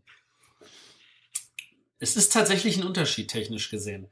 Und das ist etwas, wo ich mir vorstellen könnte, da muss man aber auch ein Spiel drum machen, was dann entsprechend diese deutlich längere Dauer für eine Auktion äh, auch irgendwie auffängt. Bevor wir jetzt auf die weiteren Spiele eingehen und was die noch anders machen an, an verschiedenen Auktionsmöglichkeiten, äh, wollen wir mal kurz darüber reden, mögen wir Auktionsspiele? Oder mögen wir den Auktionsmechanismus bei Spielen? Wir im Ganzen oder persönlich? Ja, natürlich muss jeder das von uns einzeln beantworten. Äh, ich finde, also es, es gibt ganz wenig Spiele, wo es gut funktioniert. Und es ist natürlich auch, ein, äh, diese Auktion macht natürlich meistens auch Sinn, wenn du mehr als zwei Personen zum Beispiel sind. Ne? Also je Ja. größer die Gruppe, desto mehr macht natürlich auch dieses Auktion, dieses äh, Überbieten oder äh, Pokern, bleibe ich drin, gehe ich raus, äh, mehr Sinn, als wenn man halt das halt mit wenigen Spielern macht. Deswegen äh, kann man es nicht pauschal sagen, ja oder nein, aber eher halt für große Gruppen geeignet. Größere Gruppen. Und ja, ich bin, ich bin auch Fan. Eigentlich mag ich Auktionsspiele. Ich hatte auch vorhin im Vorgespräch, als ich dieses Going, Going, Gone erwähnte oder hier auf unseren Ablauf geschrieben habe, äh, ich habe das auf der Messe gespielt und ich habe das unglaublich gut gefunden, das Spiel, und hatte riesen Spaß und habe es mir gleich sofort mitgenommen, obwohl ich ja eigentlich englische Spiele oder Spiele mit äh, äh, wenn die nicht auf Deutsch erscheinen, ist das für mich immer so, oh, so, eine, so eine gewisse Hürde. Ähm, aber ich habe das denn hier zu Hause gespielt und es hat überhaupt nicht funktioniert. Ich weiß nicht, ob wahrscheinlich lag es dann irgendwie an den Leuten. Natürlich lag es an den anderen, nicht an mir. Ähm, Aber es Kann hat, ich bestätigen. Es liegt es hat- grundsätzlich nicht an dir. es hat mehrfach nicht funktioniert und ich weiß nicht warum. Ich würde es eigentlich unglaublich gerne wieder spielen. Also ich mag Auktionsspiele, aber ich glaube, da muss man auch so ein bisschen der Typ für sein. Aber ich glaube auch, dass dieses Going, Going, Gone natürlich noch schon wieder eine andere, ein ganz spezielles Auktionsspiel ist, was ja nur Auktionsspiel ist und kaum anderes Spiel drumherum hat. Ein bisschen Set Collection, aber aber ich glaube auch bei Auktionsspielen spielt eine gewisse Erfahrung auch eine große Rolle. Man muss den Markt einschätzen, wie der Markt funktioniert und wenn dort ein erfahrener Spieler auf einen eher unerfahrenen Spieler trifft, dann äh, wird der erfahrene Spieler meistens gewinnen. Das ist ein interessanter Punkt, den du sagst, weil ich dachte auch, Auktionsspiele, das geht mir eigentlich völlig ab.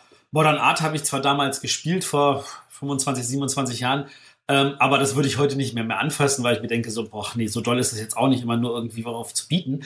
Und dann habe ich aber festgestellt, dass äh, einige meiner Lieblingsspiele einen Auktionsmechanismus beinhalten und den oft auch wirklich auf eine grandiose Weise, so dass es einem selber gar nicht auffällt, dass da eigentlich eine Versteigerung stattfindet, obwohl sie einen geradezu anspringt. Aber ist, aber in vielen Spielen ist der Auktionsmechanismus nur ein kleinerer Teil des großen Spiels, oder?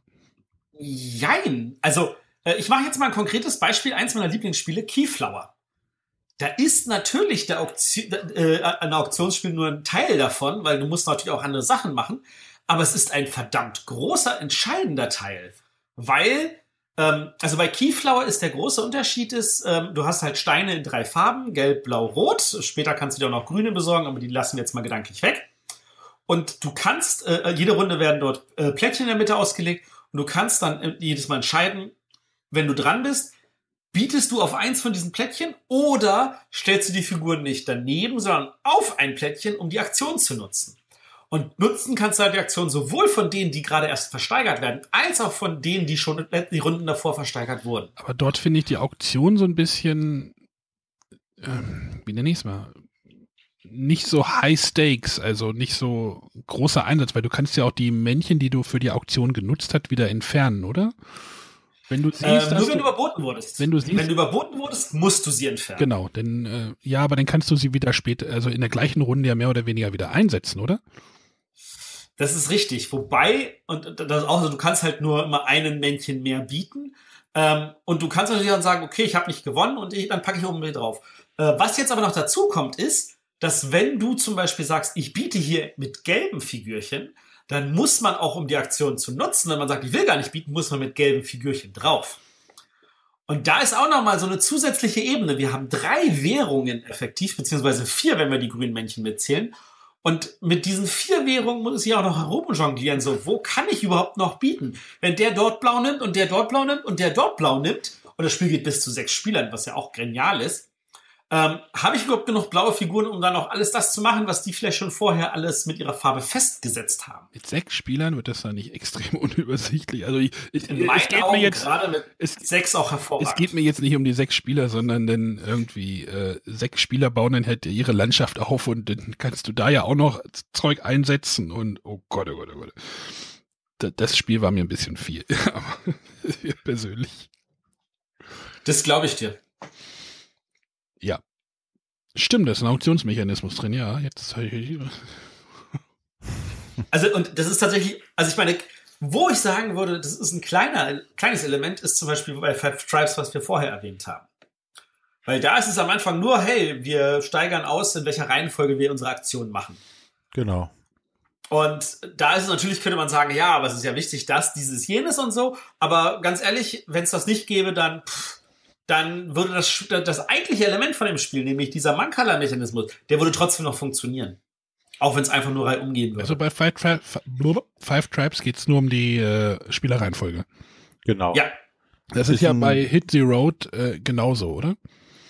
ja, Da geht's ja am Anfang bietest du ja auch auf die, äh, da bezahlen aber alle denn den Preis, ne? Ja. Ja, das ist richtig. Wobei Hits and Road ja auch wirklich, also da hast du halt nur diese eine Leiste. Also äh, kommen wir mal auf ein Spiel, das nicht nur mit einer von diesen Leisten arbeitet, sondern gleich mit, lass, ich glaube, sechs, vier oder sechs davon, nämlich Amun-Re. Da ist es ja auch so, dass äh, da gibt's diese mehreren Gebiete, davon werden jede Runde drei, vier, fünf versteigert. Und ich versuche natürlich, die besten Gebiete abzugreifen und die meisten Siegpunkte zu bekommen. Und da ist ein einfacher Versteigerungsmechanismus. Bei jedem liegt so eine Leiste aus. Und äh, wenn ich mich irgendwo davor setze von jemandem, der da schon irgendwo gebürten hat, biete ich dafür mehr. Und er muss jetzt aber von dort wegziehen und auf ein anderes Gebiet bieten. Und wenn er sagt, ich will aber eigentlich hier erhöhen, muss er so selber vorher entscheiden, ob er mehr bieten will. Oder er muss irgendwo anders gucken, dass er das so bietet, dass er weiß, er wird wieder überboten, um wieder dann dahin zurückzuspringen. Weil wenn dann, wenn am Ende nämlich für vieles der Gebiete von einem Spieler was gelegt wurde, zack, ist es, äh, die Bieterrunde vorbei und dann zahlt jeder das. Das heißt, einer kriegt immer ein Gebiet für null. Nie gespielt, ist auch schon ein paar Tage alt, ne? Ähm, habe ich bestimmt über zehn Mal gespielt und ich bin bis auf einmal immer letzter geworden. Das eine Mal bin ich, hatte ich einen Punkt mehr als der letzte. Ähm, also ich bin super schlecht in dem Spiel, aber es macht mir echt Spaß. Sollte es da nicht nochmal eine, sollte es da nicht, sollte das nicht nochmal neu aufgelegt werden oder? Es wird jetzt, glaube ich, neu aufgelegt. Ich weiß nicht wo, aber ich, meines Wissens wird das wieder neu aufgelegt. Amun Re. Alter Knitz ja noch, als er noch gute, tolle Spiele gemacht hat. Ach ja, Knitz ja. Mein Gott, sind wir wieder bei Versteigerung. Ein anderer klassischer Knizia Versteigerung, weil, weil Knizia, weiß ich nicht, der hat, der hat das Thema mal eine Weile lang nicht losgelassen, könnte man meinen. Ra. Das Erstlingsspiel von Alia. Ich weiß nicht, wer von euch Ra gespielt hat. Nein. Ähm, nein. Okay, bei Ra geht es eigentlich darum, dass wir äh, Set Collection mäßig so ein paar Plättchen sammeln, um diese zu werten. Und äh, bieten tun wir dafür aber mit sogenannten mit, mit Steinen, die durchnummeriert sind. Und natürlich ist äh, ein guter Stein am besten, äh, aber derjenige, der eine Versteigerung gewinnt, bekommt dafür den Stein, den der letzte dafür bezahlt hat. Auf diese Weise ist es, lohnt sich auch manchmal ein schlechtes Angebot einfach zu nehmen, weil man einen verdammt guten Stein für die nächste Runde bekommt, wo man wieder eine bessere Versteigerung mit gewinnen kann. Die Zahlen sind einfach nur durchnummeriert von 1 bis, ich glaube, 13 oder so. Ähm, und die werden äh, dadurch immer wieder umverteilt und der mit der 1 ist natürlich immer der Startspieler. Wie ich finde, auch eine sehr, sehr interessante Art und Weise, weil äh, man halt nicht mit Geld herumhantiert, sondern mit, mit Spieler, mit Reihenfolgeplättchen. Auch das ist möglich bei einer Versteigerung. Hier steht Abakus-Spieler auch. Ist das mal gewandert oder was? Ra? Abakus-Spieler? Das ist mir neu. Es gab noch Ra das Würfelspiel. Ich glaube, das ist auf Deutsch gar nicht rausgekommen. Puh. Was ich jetzt hier gerade noch in der auf Boardgame der Liste der Auktionsspiele gesehen habe, ähm, die Fürsten von Florenz. Ja. Da musste man ja auch, oder da war es ja auch ein ex, äh, extrem starker äh, Bestandteil am Anfang, was ich denn jetzt äh, tatsächlich für eine Aktion quasi machen möchte. Ja ob ich, ich weiß gar nicht mehr ganz genau, ob ich jetzt, welche Art von Plättchen ich glaube ich nehmen kann. Da wurde Traum geboten. Ich glaube, es ging aber auch immer, ging es immer um zwei, äh, zwischen zwei Personen, wer am meisten bietet. Du hattest auch diesen Gebiets, also du hattest ja auch diesen Bewegungsturm, mit dem du dich rumbewegt hast. Auf jeden Fall war das auch da ein zentraler Bestandteil des Spiels. Und nicht nur einfach, wer ist die Spielreihenfolgebestimmung, sondern schon sehr stark mit beeinflusst hat, was man tun kann. Ähm, also wenn ich jetzt noch ein Spiel, wo es wirklich richtig beeinflusst, wo mir auch nicht bewusst war, dass es eigentlich eine Versteigerung ist, ähm, ist El Grande. Um einen richtigen Klassiker jetzt nochmal zu nennen. Was? Wo wird denn Ja! Naja, du, du, du, du legst eine Zahl und diese Zahl ist für die anderen gesperrt. Und der mit der höchsten Zahl darf zuerst agieren der darf sich eine Aktion aussuchen. Wir versteigern effektiv die Aktionen, die ausliegen. Mit den Karten, die wir dafür legen. Mhm. Dass die natürlich noch eine zusätzliche Ebene haben, wie die Aktion, die ich auswähle, bestimmen, wie viele Leute ich bewegen darf und die Karte, mit der ich geboten habe, bestimmt, wie viele Leute ich Nachschub bekomme. Das ist dann nur das, was El Grande wirklich genial gemacht hat und was heute dafür sorgen wird, dass es nicht unter Kennerpreis rausgehen könnte. Aber das ist tatsächlich eigentlich auf zwei Ebenen dadurch ziemlich genial geworden. Ist das nicht eher äh, Action Selection? Hm. Nein, weil Action Selection heißen, wir gehen alle Reihe um und suchen uns was aus. Wir bieten darum, wer zuerst aussuchen darf. Mit deiner begrenzten Anzahl von Karten. Und die Karten, die du verwendet hast, sind raus. Und wer mitzählt, kann dann entsprechend, das ist, das ist ein Gebot. Tue mir da noch ein bisschen schwer, glaube ich. Das darfst du, das darfst du. Da können auch vielleicht unsere Hörer sagen, was sie da so sehen. Also, Glaube ich, das ein sehr abgespeckter Auktionsmechanismus, ne? Was, nee, also abgespeckt definitiv nicht. Das ist ein aufgebohrter Auktionsmechanismus. Ich meine, das ist ja dann auch noch in der einen Erweiterung, die Kartenspielversion, äh, ist das ja noch äh, so weit aufgebohrt worden, dass du ja mit dem Gebot auch gleich auf die Auktion, äh, auf die Aktion mitgeboten hast. Ey, Granne sieht immer noch gut aus, habe ich gerade festgestellt. Oh ja, das ist ein, ein Meisterwerk von der meine, wie alt ist das jetzt? Das ist doch jetzt auch 20 Jahre. 21. Äh, Es sieht noch nicht, es sieht noch nicht so angestaubt aus, finde ich. Also ich weiß Und nicht. es spielt sich auch noch nicht angestaubt. Es ist immer noch gut. Ich hab's auch noch hier. Also ich, Dann spielt's mal wieder. ich, ich habe vorhin schon einen auf den Deckel gekriegt, ne? Was du auch noch da haben müsstest, wenn wir jetzt mal noch mal von, von Auktionen reden. Isle of Sky. Boah, das, ah, jetzt bewegen wir Das ist eine Auktion. Ich biete was feil. Und wenn du es nicht kaufst, muss ich es kaufen. Mm. Ich habe gesehen, dass du das da reingeschrieben hast und jetzt denke ich darüber nach. Eigentlich ist das aber, ja, es ist einfach nur ein Verkaufen, oder nicht? Ist auch keine Auktion. Frage, haben alle die Möglichkeit, das zu kaufen? Alle außer dir. Na, Du kaufst es ja dann auch, wenn es keiner gekauft hat. Ja, dann kaufst du es, genau. Hast du es? Also du gibst ein Gebot ab, du kriegst ja diese Plättchen, sagst, okay, das schmeiß ich weg. Auf die anderen beiden gibst du ja eigentlich ein Gebot ab. Nein, du legst. Und jemand anders kann sagen, Sekunde, ich bin bereit, den Preis auch zu bezahlen, dann nimmt das dir vorher weg. Und du kriegst das ganze Geld dafür. Aber du hast als erstes den Preis bestimmt und hast damit die Auktion eröffnet. Ja, aber es. Das machen halt alle gleichzeitig. René, du hast das noch nicht gespielt, ne? Mhm. Soll ich das mal spielen? Was? René? René? Oh, ich, ich ich spielen, anlocken. bevor die Erweiterung kommt. Das ist ja, das, ist, das geht gar nicht. das ist doch keine Auktion. Das ist einfach nur ein Angebot machen. Ja, was ist denn eine Auktion, wenn man nicht, wenn ich ein Angebot mache? Also wir kommen tatsächlich langsam, ich merke, in den Bereich, wo wir uns nicht mehr ganz einig sind, ist das noch eine Auktion oder nicht? Genau. Was ist mit Wikinger? Um jetzt noch mal so einen Randbereich abzunehmen. Wikinger ist auch ein Klassiker von Hans im Glück. Das habe ich nicht gespielt, Äh, das ist das Problem. ist ein Michael Kiesling only. Ähm, da werden aus einem Beutel werden zwölf Plättchen gezogen. Die werden einfach im Uhrzeigersinn nebeneinander angelegt, wenn es Inseln sind. Und wenn es Schiffe sind, werden sie von der Seite angelegt, sodass die Schiffe grundsätzlich auf den teuren Feldern sind. Und dann werden äh, zwölf Figuren rausgezogen. Die werden nach einem bestimmten Mechanismus angelegt. Die, zuerst die blauen, dann die äh, grünen, dann die gelben, rot, schwarz, grau. Und dann ist es so, ähm, jeder darf frei um entscheiden, okay, ich kaufe mir jetzt einfach eins davon. Und wenn eine bestimmte Farbe weggekauft ist, du darfst die billigste in der Farbe erst kaufen, nee, du darfst die billigste überhaupt erst dann kaufen, wenn alle billige, äh, teureren in derselben Farbe wie der Figur weg sind. Das heißt, wenn da drei blaue Figuren sind für 0, 1, 2, darfst du den für 0 erst dann kaufen, wenn der für 1 und 2 weg sind.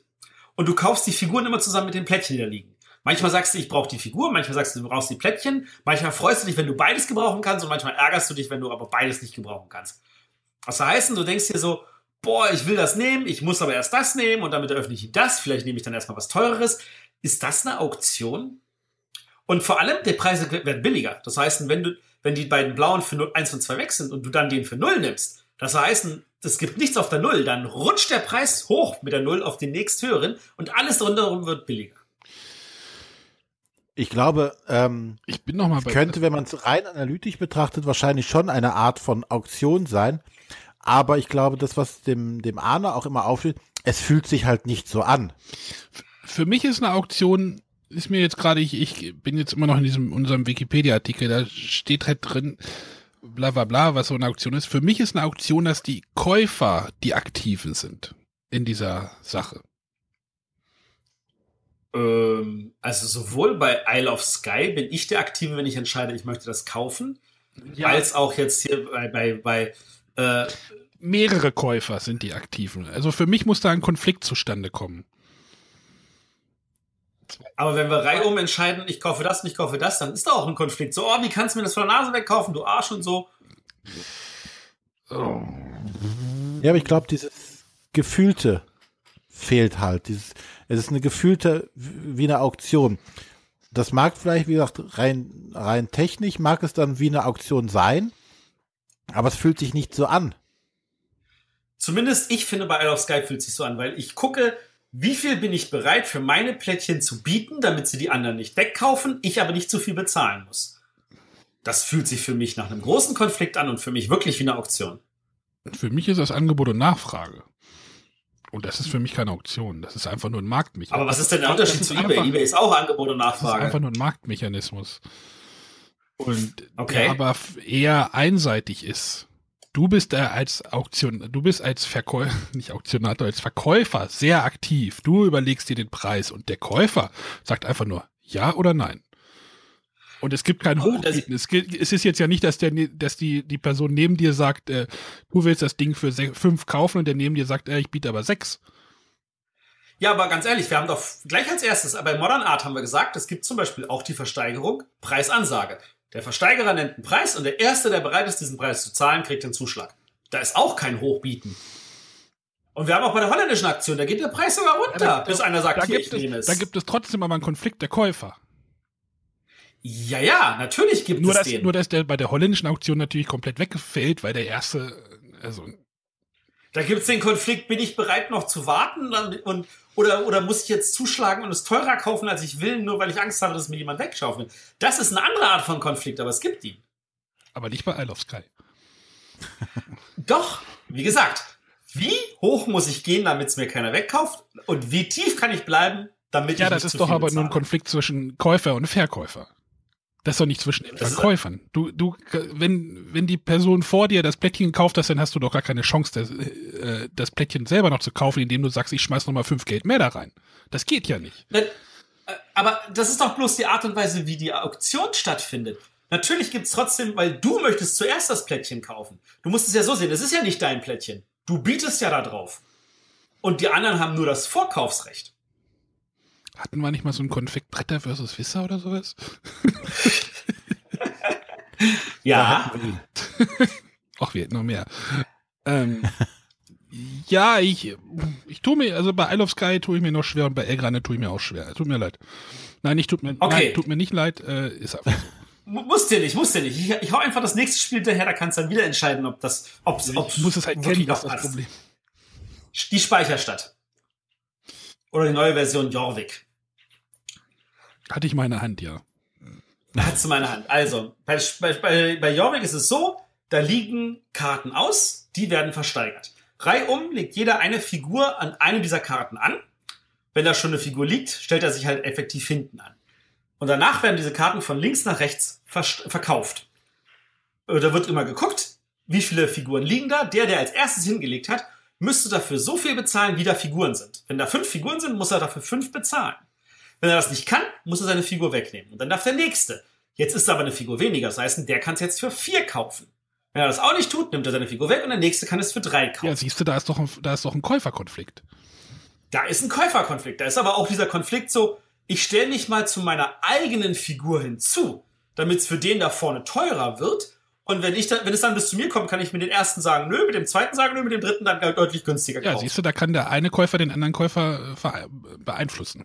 Das äh, verstehe ich. Also das betrachtest du aber schon als eine Versteigerung. Ja. Als eine Auktion. Ja, ja. Ich wollte jetzt nur darauf hinweisen, dass dieser Käuferkonflikt da so ein bisschen herrschen muss. Okay, nächstes Beispiel. Straßburg. Bei Straßburg ist es so, dass man, man zieht ein paar Karten und man kann sich entscheiden, mehr zu ziehen. Wenn der Kartenstapel aber alle ist, hat man nichts mehr. Und dann mit den ganzen Kartenstapeln muss man für fünf Auktionen auskommen. Und mit den Karten, die man dann gezogen hat, kann man Gebote machen. Äh, man, man, es gibt, glaube ich, sechs oder sieben Auktionen. Und man kann natürlich nicht auf alles bieten und man teilt diese Karten dann in Gruppen auf und sagt, oh, mit den drei mache ich ein Gebot und mit den zwei. Und dann wird von oben nach unten gesagt, so, das wird jetzt versteigert. Und reihum darf jeder einen seiner Kartenstapel aufdecken. Ach, das war das. Man muss vorher die nicht zuordnen, sondern kann in dem Moment entscheiden, oh, ich bin bereit, mit dem hier zu bieten. Ja, ich erinnere mich, das klang cool. Äh, Das ist cool. Das ist ein wunderbarer Stefan Feld, der verdient nominiert war zum Kennerspiel des Du Jahres. hast es aber nicht mehr. Doch, natürlich habe ich es noch. Nein, Aber sicher habe ich es noch. Doch, Alter, dann musst du es zweimal gehabt haben. das ist richtig. Ich hatte es sogar dreimal. Aber das anders. Okay. Da wussten ein paar Leute, was ich mag. Okay. Ja, Und ich werde jetzt nicht, ja, klar, dort, dort äh, bietest du, das ist jetzt auch so ein Blind, Blind Bidding auch Geschichte, oder? das ist eine Blind Bidding. Du siehst natürlich, oh, warte mal, der hat einen Stapel mit drei Karten, da will er wahrscheinlich mehr bieten, obwohl das vielleicht nur eine 1-1-1 ist oder so. Ähm, aber da bietest du jetzt auch nur einmal rum und musst halt gucken, so, wie viel bin ich bereit. Ja, und siehst du dort einen Käuferkonflikt, einen Konflikt unterhalb, oder innerhalb der Käufer oder eher nicht? Ich sehe auch den Konflikt innerhalb der Käufer bei Isle of Sky. Ähm, nein, nicht innerhalb der Käufer, nein. Oder meinst du, dass der Verkäufer dann später Käufer wird? Also, mal- versuchen wir es mal anders zu formulieren. Ein, etwas, wo es nur einmal rumgeht, ist für dich keine Auktion. Mm, Ja, ich habe vielleicht, einen, vielleicht, Ja. vielleicht habe ich einen falschen Auktionsbegriff im Hinterkopf, so ein bisschen. Vielleicht, vielleicht. Wir haben aber schon vorher festgestellt, es gibt verschiedene. Ja, du hast das festgelegt. Achso, nee, das, das haben wir ja. Ein Wikipedia-Artikel hat das festgelegt. Wikipedia lügt. Lügenpresse. Ah, ja, jetzt. Kann ich noch einen hinschreiben? Nein, das ist ja, ist ja so, aber ähm, ja. René, willst du da irgendwie schlichten?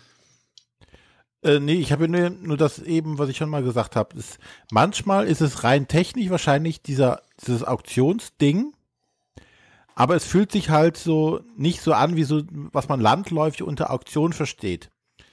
Äh, Wie zum Beispiel bei El Grande, da fühlt, es fühlt sich einfach nicht an wie eine Auktion. Ja, das kann ich nachvollziehen. Ne? Rein technisch ist es. Vielleicht dann entspricht es diesen Punkten für äh, diesen bestimmten Mechanismus einer Auktion. Aber es fühlt sich halt nicht an, weil eigentlich hat ja jeder, der sagt, ähm, Auktion, hat hier äh, den Typen, der vorne 3, 2, 1 äh, oder 1, 2, 3 runterbrüllt mit seinem Holzhämmerchen durch, wild durch die Gegend haut. Das hat ja jeder erstmal im Kopf, wenn er Auktion hört. Und du sagtest ja selber zu Beginn, ähm, dir war gar nicht bewusst, dass dort eine Auktion stattfindet in den Spielen. Das war mir vorher nie bewusst gewesen, Ja. aber durch die Beschäftigung mit dem Thema habe ich festgestellt, ja, das ist eine Auktion. Geil. Ja, ja, aber das ist das, äh, dieses gefühlte, ja, da ist eine Auktion, aber bei dem anderen. Dann formulieren wir mal die Frage, finden wir das gut, wenn es Auktionen gibt, die wir nicht bemerken? Die Frage Ja, ist, ob, das, ob, ob nicht gefühlte Auktionen überhaupt noch Auktionen sind. Ich würde sagen, ja. ja, Ich würde sagen, nein, aber egal. Okay. Ich habe ja meinen Punkt schon oft genug jetzt gesagt, aber äh, mach ruhig mal weiter. so viel habe ich nicht mehr. Ich will das auch nicht ewig Ich bin ausbreiten. auch auf das, auf das Skull and Roses bin ich auch noch gespannt. Skull and Roses ist eindeutig ein Auktionsspiel. weil jeder bietet darauf, wie viele äh, Scheiben er bereit ist aufzudecken. Au Skull and Roses ist eher ein Bluffspiel mit äh, Auktions. Ich sage nicht, dass es kein Bluffspiel ist, aber es ist auch ein Auktionsspiel. leichtem Auktionsgeschmack. Ich liebe äh, Skull and Roses genau dafür, dass du tatsächlich dieses, diese, diese, du hast am Anfang kann ja jeder sagen, oh, ich leg noch eine Plättchen, ich leg noch ein Plättchen und so. Und dieses, dieses Gefühl so, wenn es dann umkippt und sagt, okay, jetzt gehen wir in den Auktionsmechanismus, ich bin bereit, drei aufzudecken. Und dann so, ja, ich bin, glaube ich, bereit, vier aufzudecken. und das ist schon, das, da, da ist, da ist eine Menge Blöffen, da ist äh, eine Menge Blöffen auch ein, ein Element, das ich total gerne habe.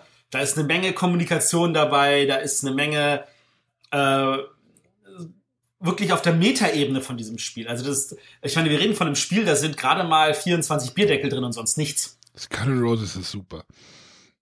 Genau. ich, ich habe jetzt gerade nochmal nachgeguckt hier, äh, weil mich das jetzt nicht losgelassen. Der äh, Auktionsmechanismus bei Die Fürsten von Florenz. Ja. Und zwar ist es da so, äh, als Spieler sage ich, ich würde gerne das Teil hier kaufen, Plättchen oder Karte und biete dafür 200. Und jetzt geht drei rum, hat jeder die Möglichkeit, 100 mehr dafür zu bieten. Okay. Bis äh, im Endeffekt alle gepasst haben oder und, und bis, nur noch einer übrig bleibt und der muss es dann für das Geld kaufen, was er ersteigert, äh, was er letztes genannt hatte. Und dann, wenn du dann nichts bekommen hast, bist du halt wieder dran und sagst, ich hätte gerne das Plättchen. Sprich, hierbei kannst du äh, versuchen, es entsprechend für andere Leute teurer zu machen, indem du mitbietest, aber es vielleicht gar nicht haben möchtest. Okay. Also, das ist natürlich auch ein Element bei Auktionsspielen. Wer macht die nächste Auktion? Ich meine, bei Modern Art ist immer automatisch die nächste Reihe um. Also jede Reihe um macht einfach mal kurz eine Auktion. Ähm, aber bei so einem Spiel wie, wie Fürsten von Florenz, wo du genau sagst, ich picke jetzt mit Absicht dieses Element, weil es jemand anders ersteigen werden wird und ich dann das nächste wieder picken kann und er raus ist aus der Auktion. Genau. Das ist dann natürlich nochmal so eine zusätzliche Ebene bei, äh, Metaebene bei Auktionsspielen. Ja. Das ist auch bei Funkenschlag so, wo man, wo man sagt, so, das sind jetzt die äh, Fabriken im Angebot. Ich interessiere mich aber für die Fabrik in der zweiten Reihe, die jetzt noch nicht angeboten wird. Ähm, deswegen biete ich einfach mal die an, weil ich genau weiß, irgendeiner von den zwei oder dreien wird das schon äh, äh, steigern und dann kann ich die nächste gleich anbieten. Ja, und, ich glaube, das, das ist das, was mancher dem Ahne vielleicht, glaube ich, auch fehlt und an mir auch, ist dieses, dass du das ja auch äh, stellenweise so, dieses Reizen bei Auktionen, ne? Und ja. dieses Risiko zu gehen, zu sagen so, ja, ich steige noch mal 100 mehr, nur um dem anderen noch 100 Euro mehr aus der Tasche zu ziehen, weil eigentlich möchte ich das hier gar nicht. Und zack, zieht der andere den Schwanz ein und du bist auf jeden Fall der Doofe, der das Ding teuer äh, kaufen muss, obwohl er es gar nicht haben will. Sitzt du da mit deinem Scheiß? ja, genau. Storage Wars, yeah. Ja, aber das ist ja auch Teil des Spiels, das natürlich äh, Spaß macht an der Stelle. Ja, aber ich glaube, das ist so das, was halt klassisch unter Auktion dann verstanden wird. Ja, oder halt dieses ja. verdeckte Bieten, also die, die, die Faustgeschichte oder äh, ja. verdeckte Karten irgendwie hinlegen und in viel Meter. Viel Meter. Meter ja, andere Metaebene haben wir noch bei äh, Brüssel 1893 von Pearl Games.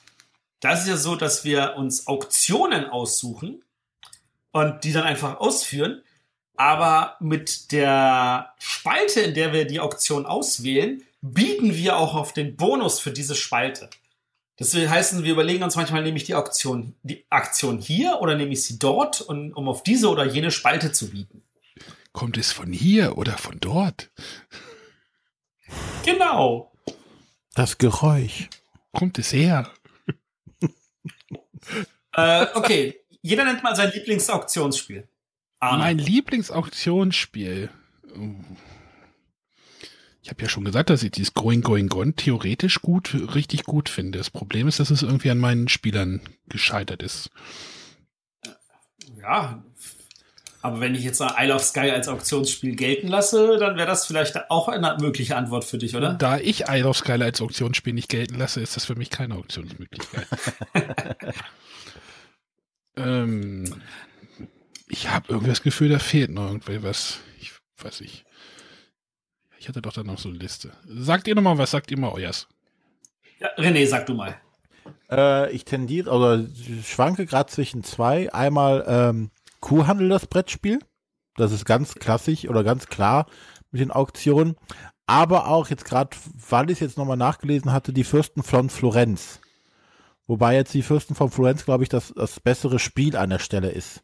Wobei der Kuhhandel ist halt eigentlich sehr lustig dabei halt einfach. Also zwischen den beiden tendiere ich da ein bisschen hin und her. Okay. Ja, also bei mir wäre es eindeutig Keyflower, weil ich wirklich diese Metaebene mag. Und wenn ich sage, okay, da passiert noch zu viel neben der Auktion, dann wäre es Straßburg, glaube ich. Ich wollte gerade sagen, bei Keyflower ist ja wirklich noch sehr viel nebenbei. Also noch sehr viel, sehr viel ne Spiel nebenbei. Wobei das Bieten ja wirklich Main-Aktion ist. Ist es? Ja, doch, ja. Wenn du nie Aktionen machst, sondern immer nur ersteigerst, kannst du trotzdem gewinnen. Soweit habe ich das nicht. Äh Und jetzt, ich geschehe, wir nutzen mal wieder die, diese, ich, ich glaube, Stunde der Schande, um mal wieder etwas von uns zu, zu preiszugeben. Ich habe noch nicht eine einzige Keyflower-Erweiterung gespielt. Dö, dö, dö. Ja, ich natürlich als Erweiterungsfreak. ähm, nee, ich habe gerade noch mal so in, dieses Skull oder Skull and Roses oder äh, ich weiß nicht, wie es jetzt im Moment gerade heißt. Ähm, Das heißt nur noch Skulls. Das ist ja schon, naja, eigentlich würde ich es auch als Pokern so ein bisschen, ja, das ist halt so in, die, in dieser Simplizität schon sehr unschlagbar, aber was auch so die Spannung wirklich sehr hoch, sehr hoch hält oder sehr hoch kriegt, in dem gehe ich jetzt noch ein weiter, mache ich jetzt noch in Anführungsstrichen ein Gebot, erhöhe ich das noch ein bisschen oder ähm, man hatte halt nur begrenzte Informationen. Ich glaube, seinen eigenen Bierdeckel war das, ne? Oder waren es zwei? Oder? Du weißt deine eigenen und du kannst abschätzen, ob irgendjemand vielleicht noch einen hat oder nicht. Ja, aber hat der vielleicht auch geblufft oder äh, es ist halt, es ist halt so simpel, aber dafür baut es halt so eine Spannung auf. Ja. Wie es andere Spiele nicht schaffen. Wer Bluff-Spiele mag. Ach so, übrigens, was ist mit Bluff? Ist Bluff ein Auktionsspiel? Ja, wenn du Sky und Roses da reinpackst, dann musst du Bluff da auch reinpacken. Was ist mit Poker? Weil du jetzt gerade Poker erwähnt hast. Ist das ein äh, Auktionsspiel? Ja, Poker ist ein Pokerspiel und kein Auktionsspiel, oder?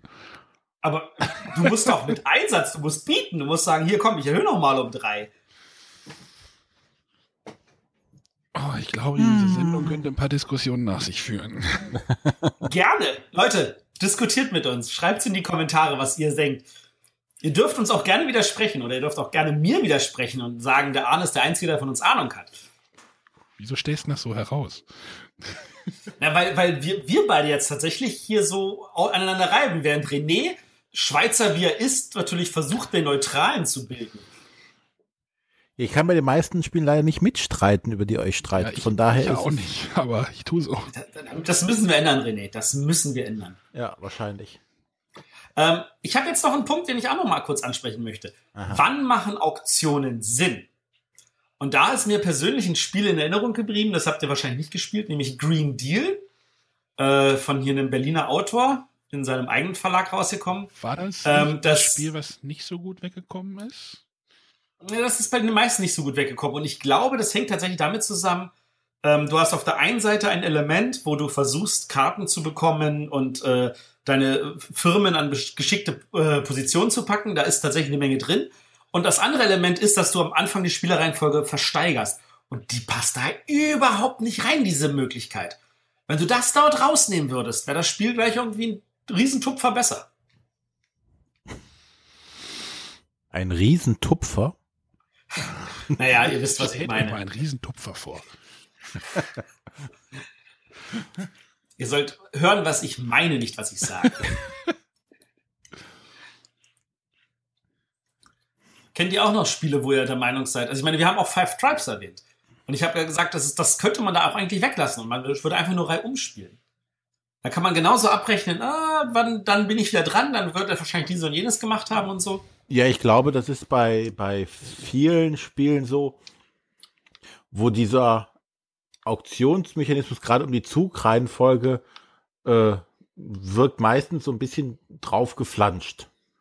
Weil er ja auch äh, thematisch da gar keinen, also jetzt zum Beispiel hier bei äh, Five Tribes hat das ja thematisch überhaupt keinen Sinn, da seine äh, Zwiebeltürmchen irgendwo hinzustellen und äh, dadurch früher dran zu sein. Also es gibt vor allem, da, da bietest du mit Siegpunkten. Matthias, Matthias, Matthias, Matthias, Matthias. Ja. Ich, ich, pass mal auf. Achtung. Ist Animals on Board ein Auktionsspiel? Oh. Mit einer Rückwärtsauktion, in dem der Verkäufer reihum wandert und den Preis erniedrigt. Äh, äh, erniedrigt. Nein. Äh, uh, ist das so? Naja, du hast ja. Ich meine, ja, äh, äh, durch, durch, durch Trennen einer Gruppe machst, machst du, du für beide Gruppen den Preis günstiger. Richtig. Und du kriegst auch noch Geld dafür, dass du dann für, für den Kauf einsetzen kannst. Jetzt haut der Arne noch einen raus hier kurz. Ich habe mir einfach nochmal rechts geguckt. wow. Ähm, also das ist tatsächlich so weit hergeholt, dass mein Gefühl sagt nein, aber ja. ich möchte es nicht ganz verneinen. Fragen wir unsere Hörer doch einfach. Und wo ist der Schreibt Unterschied wow. zwischen Isle of Sky? Bei Isle of Sky muss ich konkret selber ein Angebot geben und der andere kann nur sagen, ja, ich matche das. Ja, wieso? Du kannst doch konkreten Preis machen bei äh, du musst die, du musst die Gruppe ja, die Gruppe teilst du ja nicht in 50-50, sondern du kannst ja die, die Gruppe, den, den Preis der Gruppe, der, der Gruppen bestimmen, indem du sie trennst. Und dann muss der andere Käufer, dann muss der andere, muss der Käufer entscheiden, ob er jetzt diesen Preis matcht oder nicht, wie du es so genannt hast. Oh, das fühlt sich echt weit hergeholt an. Aber ja, wahrscheinlich ist es dann auch ein Auktionsspiel. Ich habe auch noch eins. Ja. Bonanza. Jetzt. Okay, jetzt wird's wirklich weit hergeholt. Also, Wenn ich- Bonanza oder Bonanza das Duell? Bonanza. Wo ich Okay. kann, wenn ich nachher die, die ähm, zwei Karten aufdecke, die ich ja dann Ja. unter anderem auch an andere Spieler verkaufen kann. Am besten ja so, dass es mir am meisten bringt. Meistbietend. Ja, da hast du eigentlich recht. Wenn er uns so kommen will, dann können wir auch so kommen, ne? So sieht das ja. Genau. Also bei Bonanza das Duell würde ich auf jeden Fall sagen, weil du machst ja einen konkreten Angebot, sagst hier, ich schenke dir diese Karte. Und der kann sagen, nee, Gegenangebot, ich schenke dir diese Karte. Ja, was mal. Ja, aber genau das. Selber hast du doch auch, wenn du mit, mit, mit mehreren Leuten halt spielst. Ich habe hier, weiß ich nicht, äh, eine Brechbohne, die ich nicht haben will.